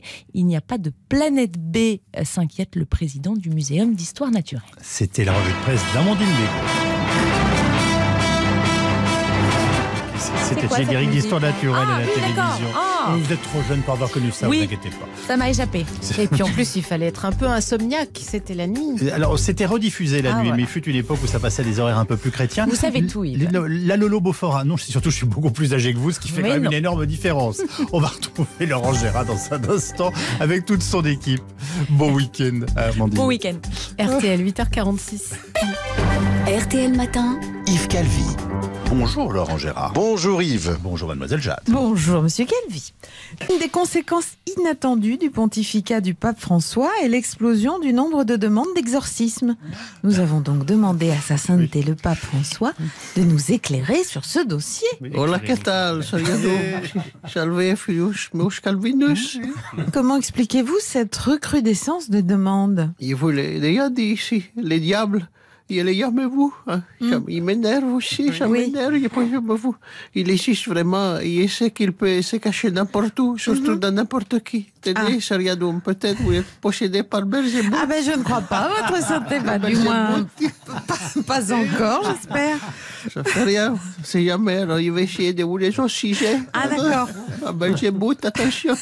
Te rogamos, immundus, diabolicus spiritus. Mm. Il te conjure, il te conjure, esprit immonde du diable. Va de rétro. Prince du péché, corps de ce corps, retire-toi de cette créature. Si tu veux sortir, tu vas taper un coup pour oui, toc. Si tu veux pas sortir, tu vas taper deux coups pour non, toc, toc. Oh là là, mais quelle angoisse Oh là que oui, quelle angoisse Oh, il veut pas sortir, il reste dedans. Il est dans ma moyenne, lui a dit. Le diable, que- Désolée. une fois de plus, il n'y a rien qui se passe, encore raté. Les turbulences à France Télévisions ont donné une idée à Jack Lang. Comme je vous l'avais expliqué récemment, c'est sur le front culturel que je vais mener le combat à Saint-Dié-des-Vosges. À cet effet, avec quelques amis déodaciens, j'ai lancé une télévision locale baptisée France Dié. Plus simplement, surnommée la Dié. Une chaîne qui émet tous les soirs après le coucher du soleil, c'est-à-dire à partir de 16h30. en direct depuis l'arrière-salle de la taverne du Vieux Bouc, transformée en studio. Ce sera une télé locale euh, C'est une chaîne de la TNT C'est quoi? Oui, la TNT, télé de notre terroir. D'accord.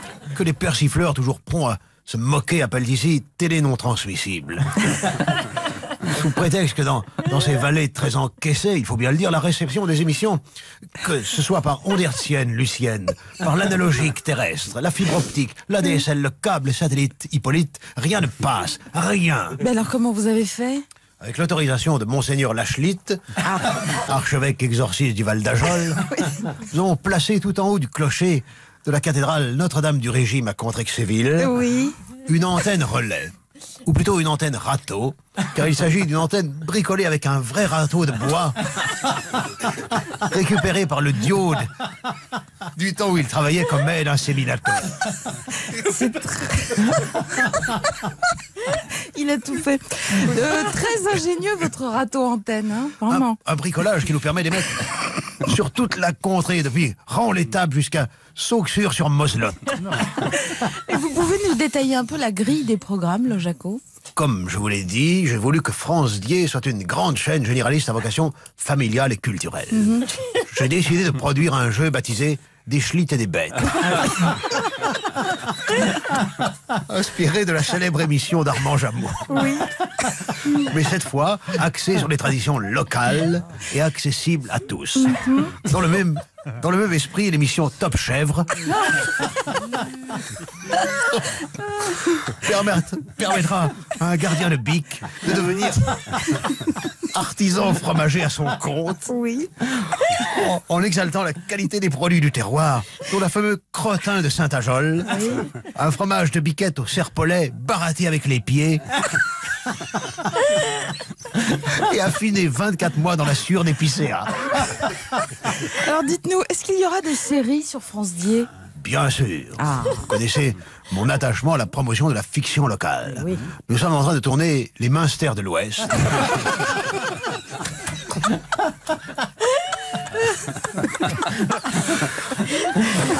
Alerte à Chenille-Ménil. Chapeau de feutre et brodequin de cuir. Ainsi qu'une grande série policière qui va faire plaisir à Isabelle Moribos au rythme très nerveux, Les experts Gérard May.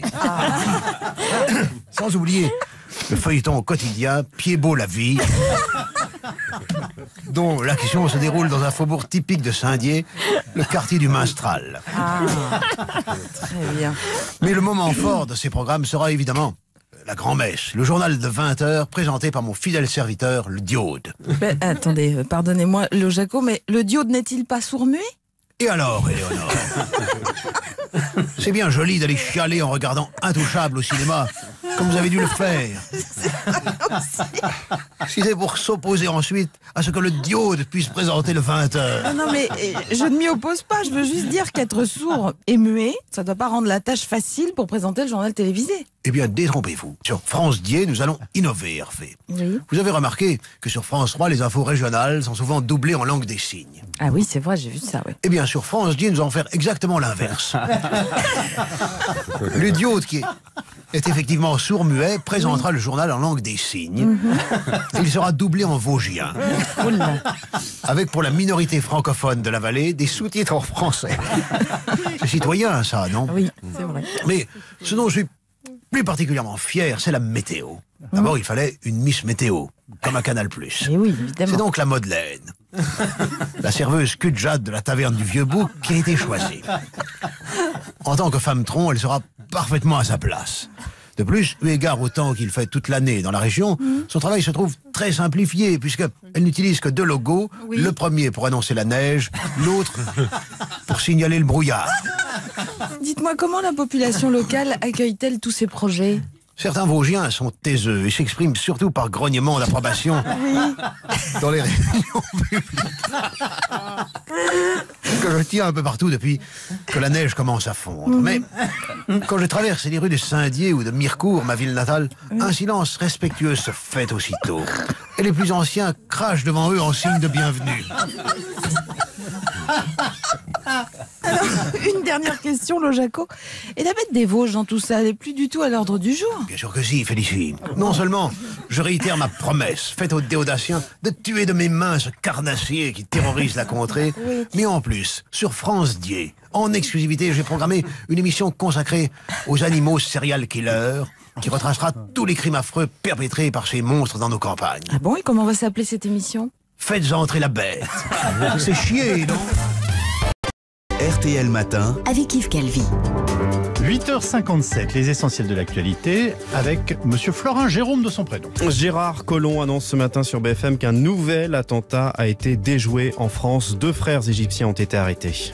Euh, il y avait euh, deux jeunes gens, euh, donc euh, d'origine égyptienne, qui euh, s'apprêtaient à commettre un attentat, et donc euh, avec euh, soit de l'explosif, euh, soit la ricine, ce poison évidemment euh, très très fort. Un attentat Ils au avaient poison? des- ils avaient Avec des un poison Ils avaient des tutoriels euh, qui indiquaient comment construire euh, effectivement les poisons à base de ricine. Le ministre de l'Intérieur qui confirme par ailleurs, toujours sur BFM, son embarras sur euh, l'abaissement de la vitesse à 80 km heure sur le réseau secondaire. La mesure doit s'appliquer à partir du 1er juillet. Il faut travailler davantage avec les départements, dit Gérard Collomb.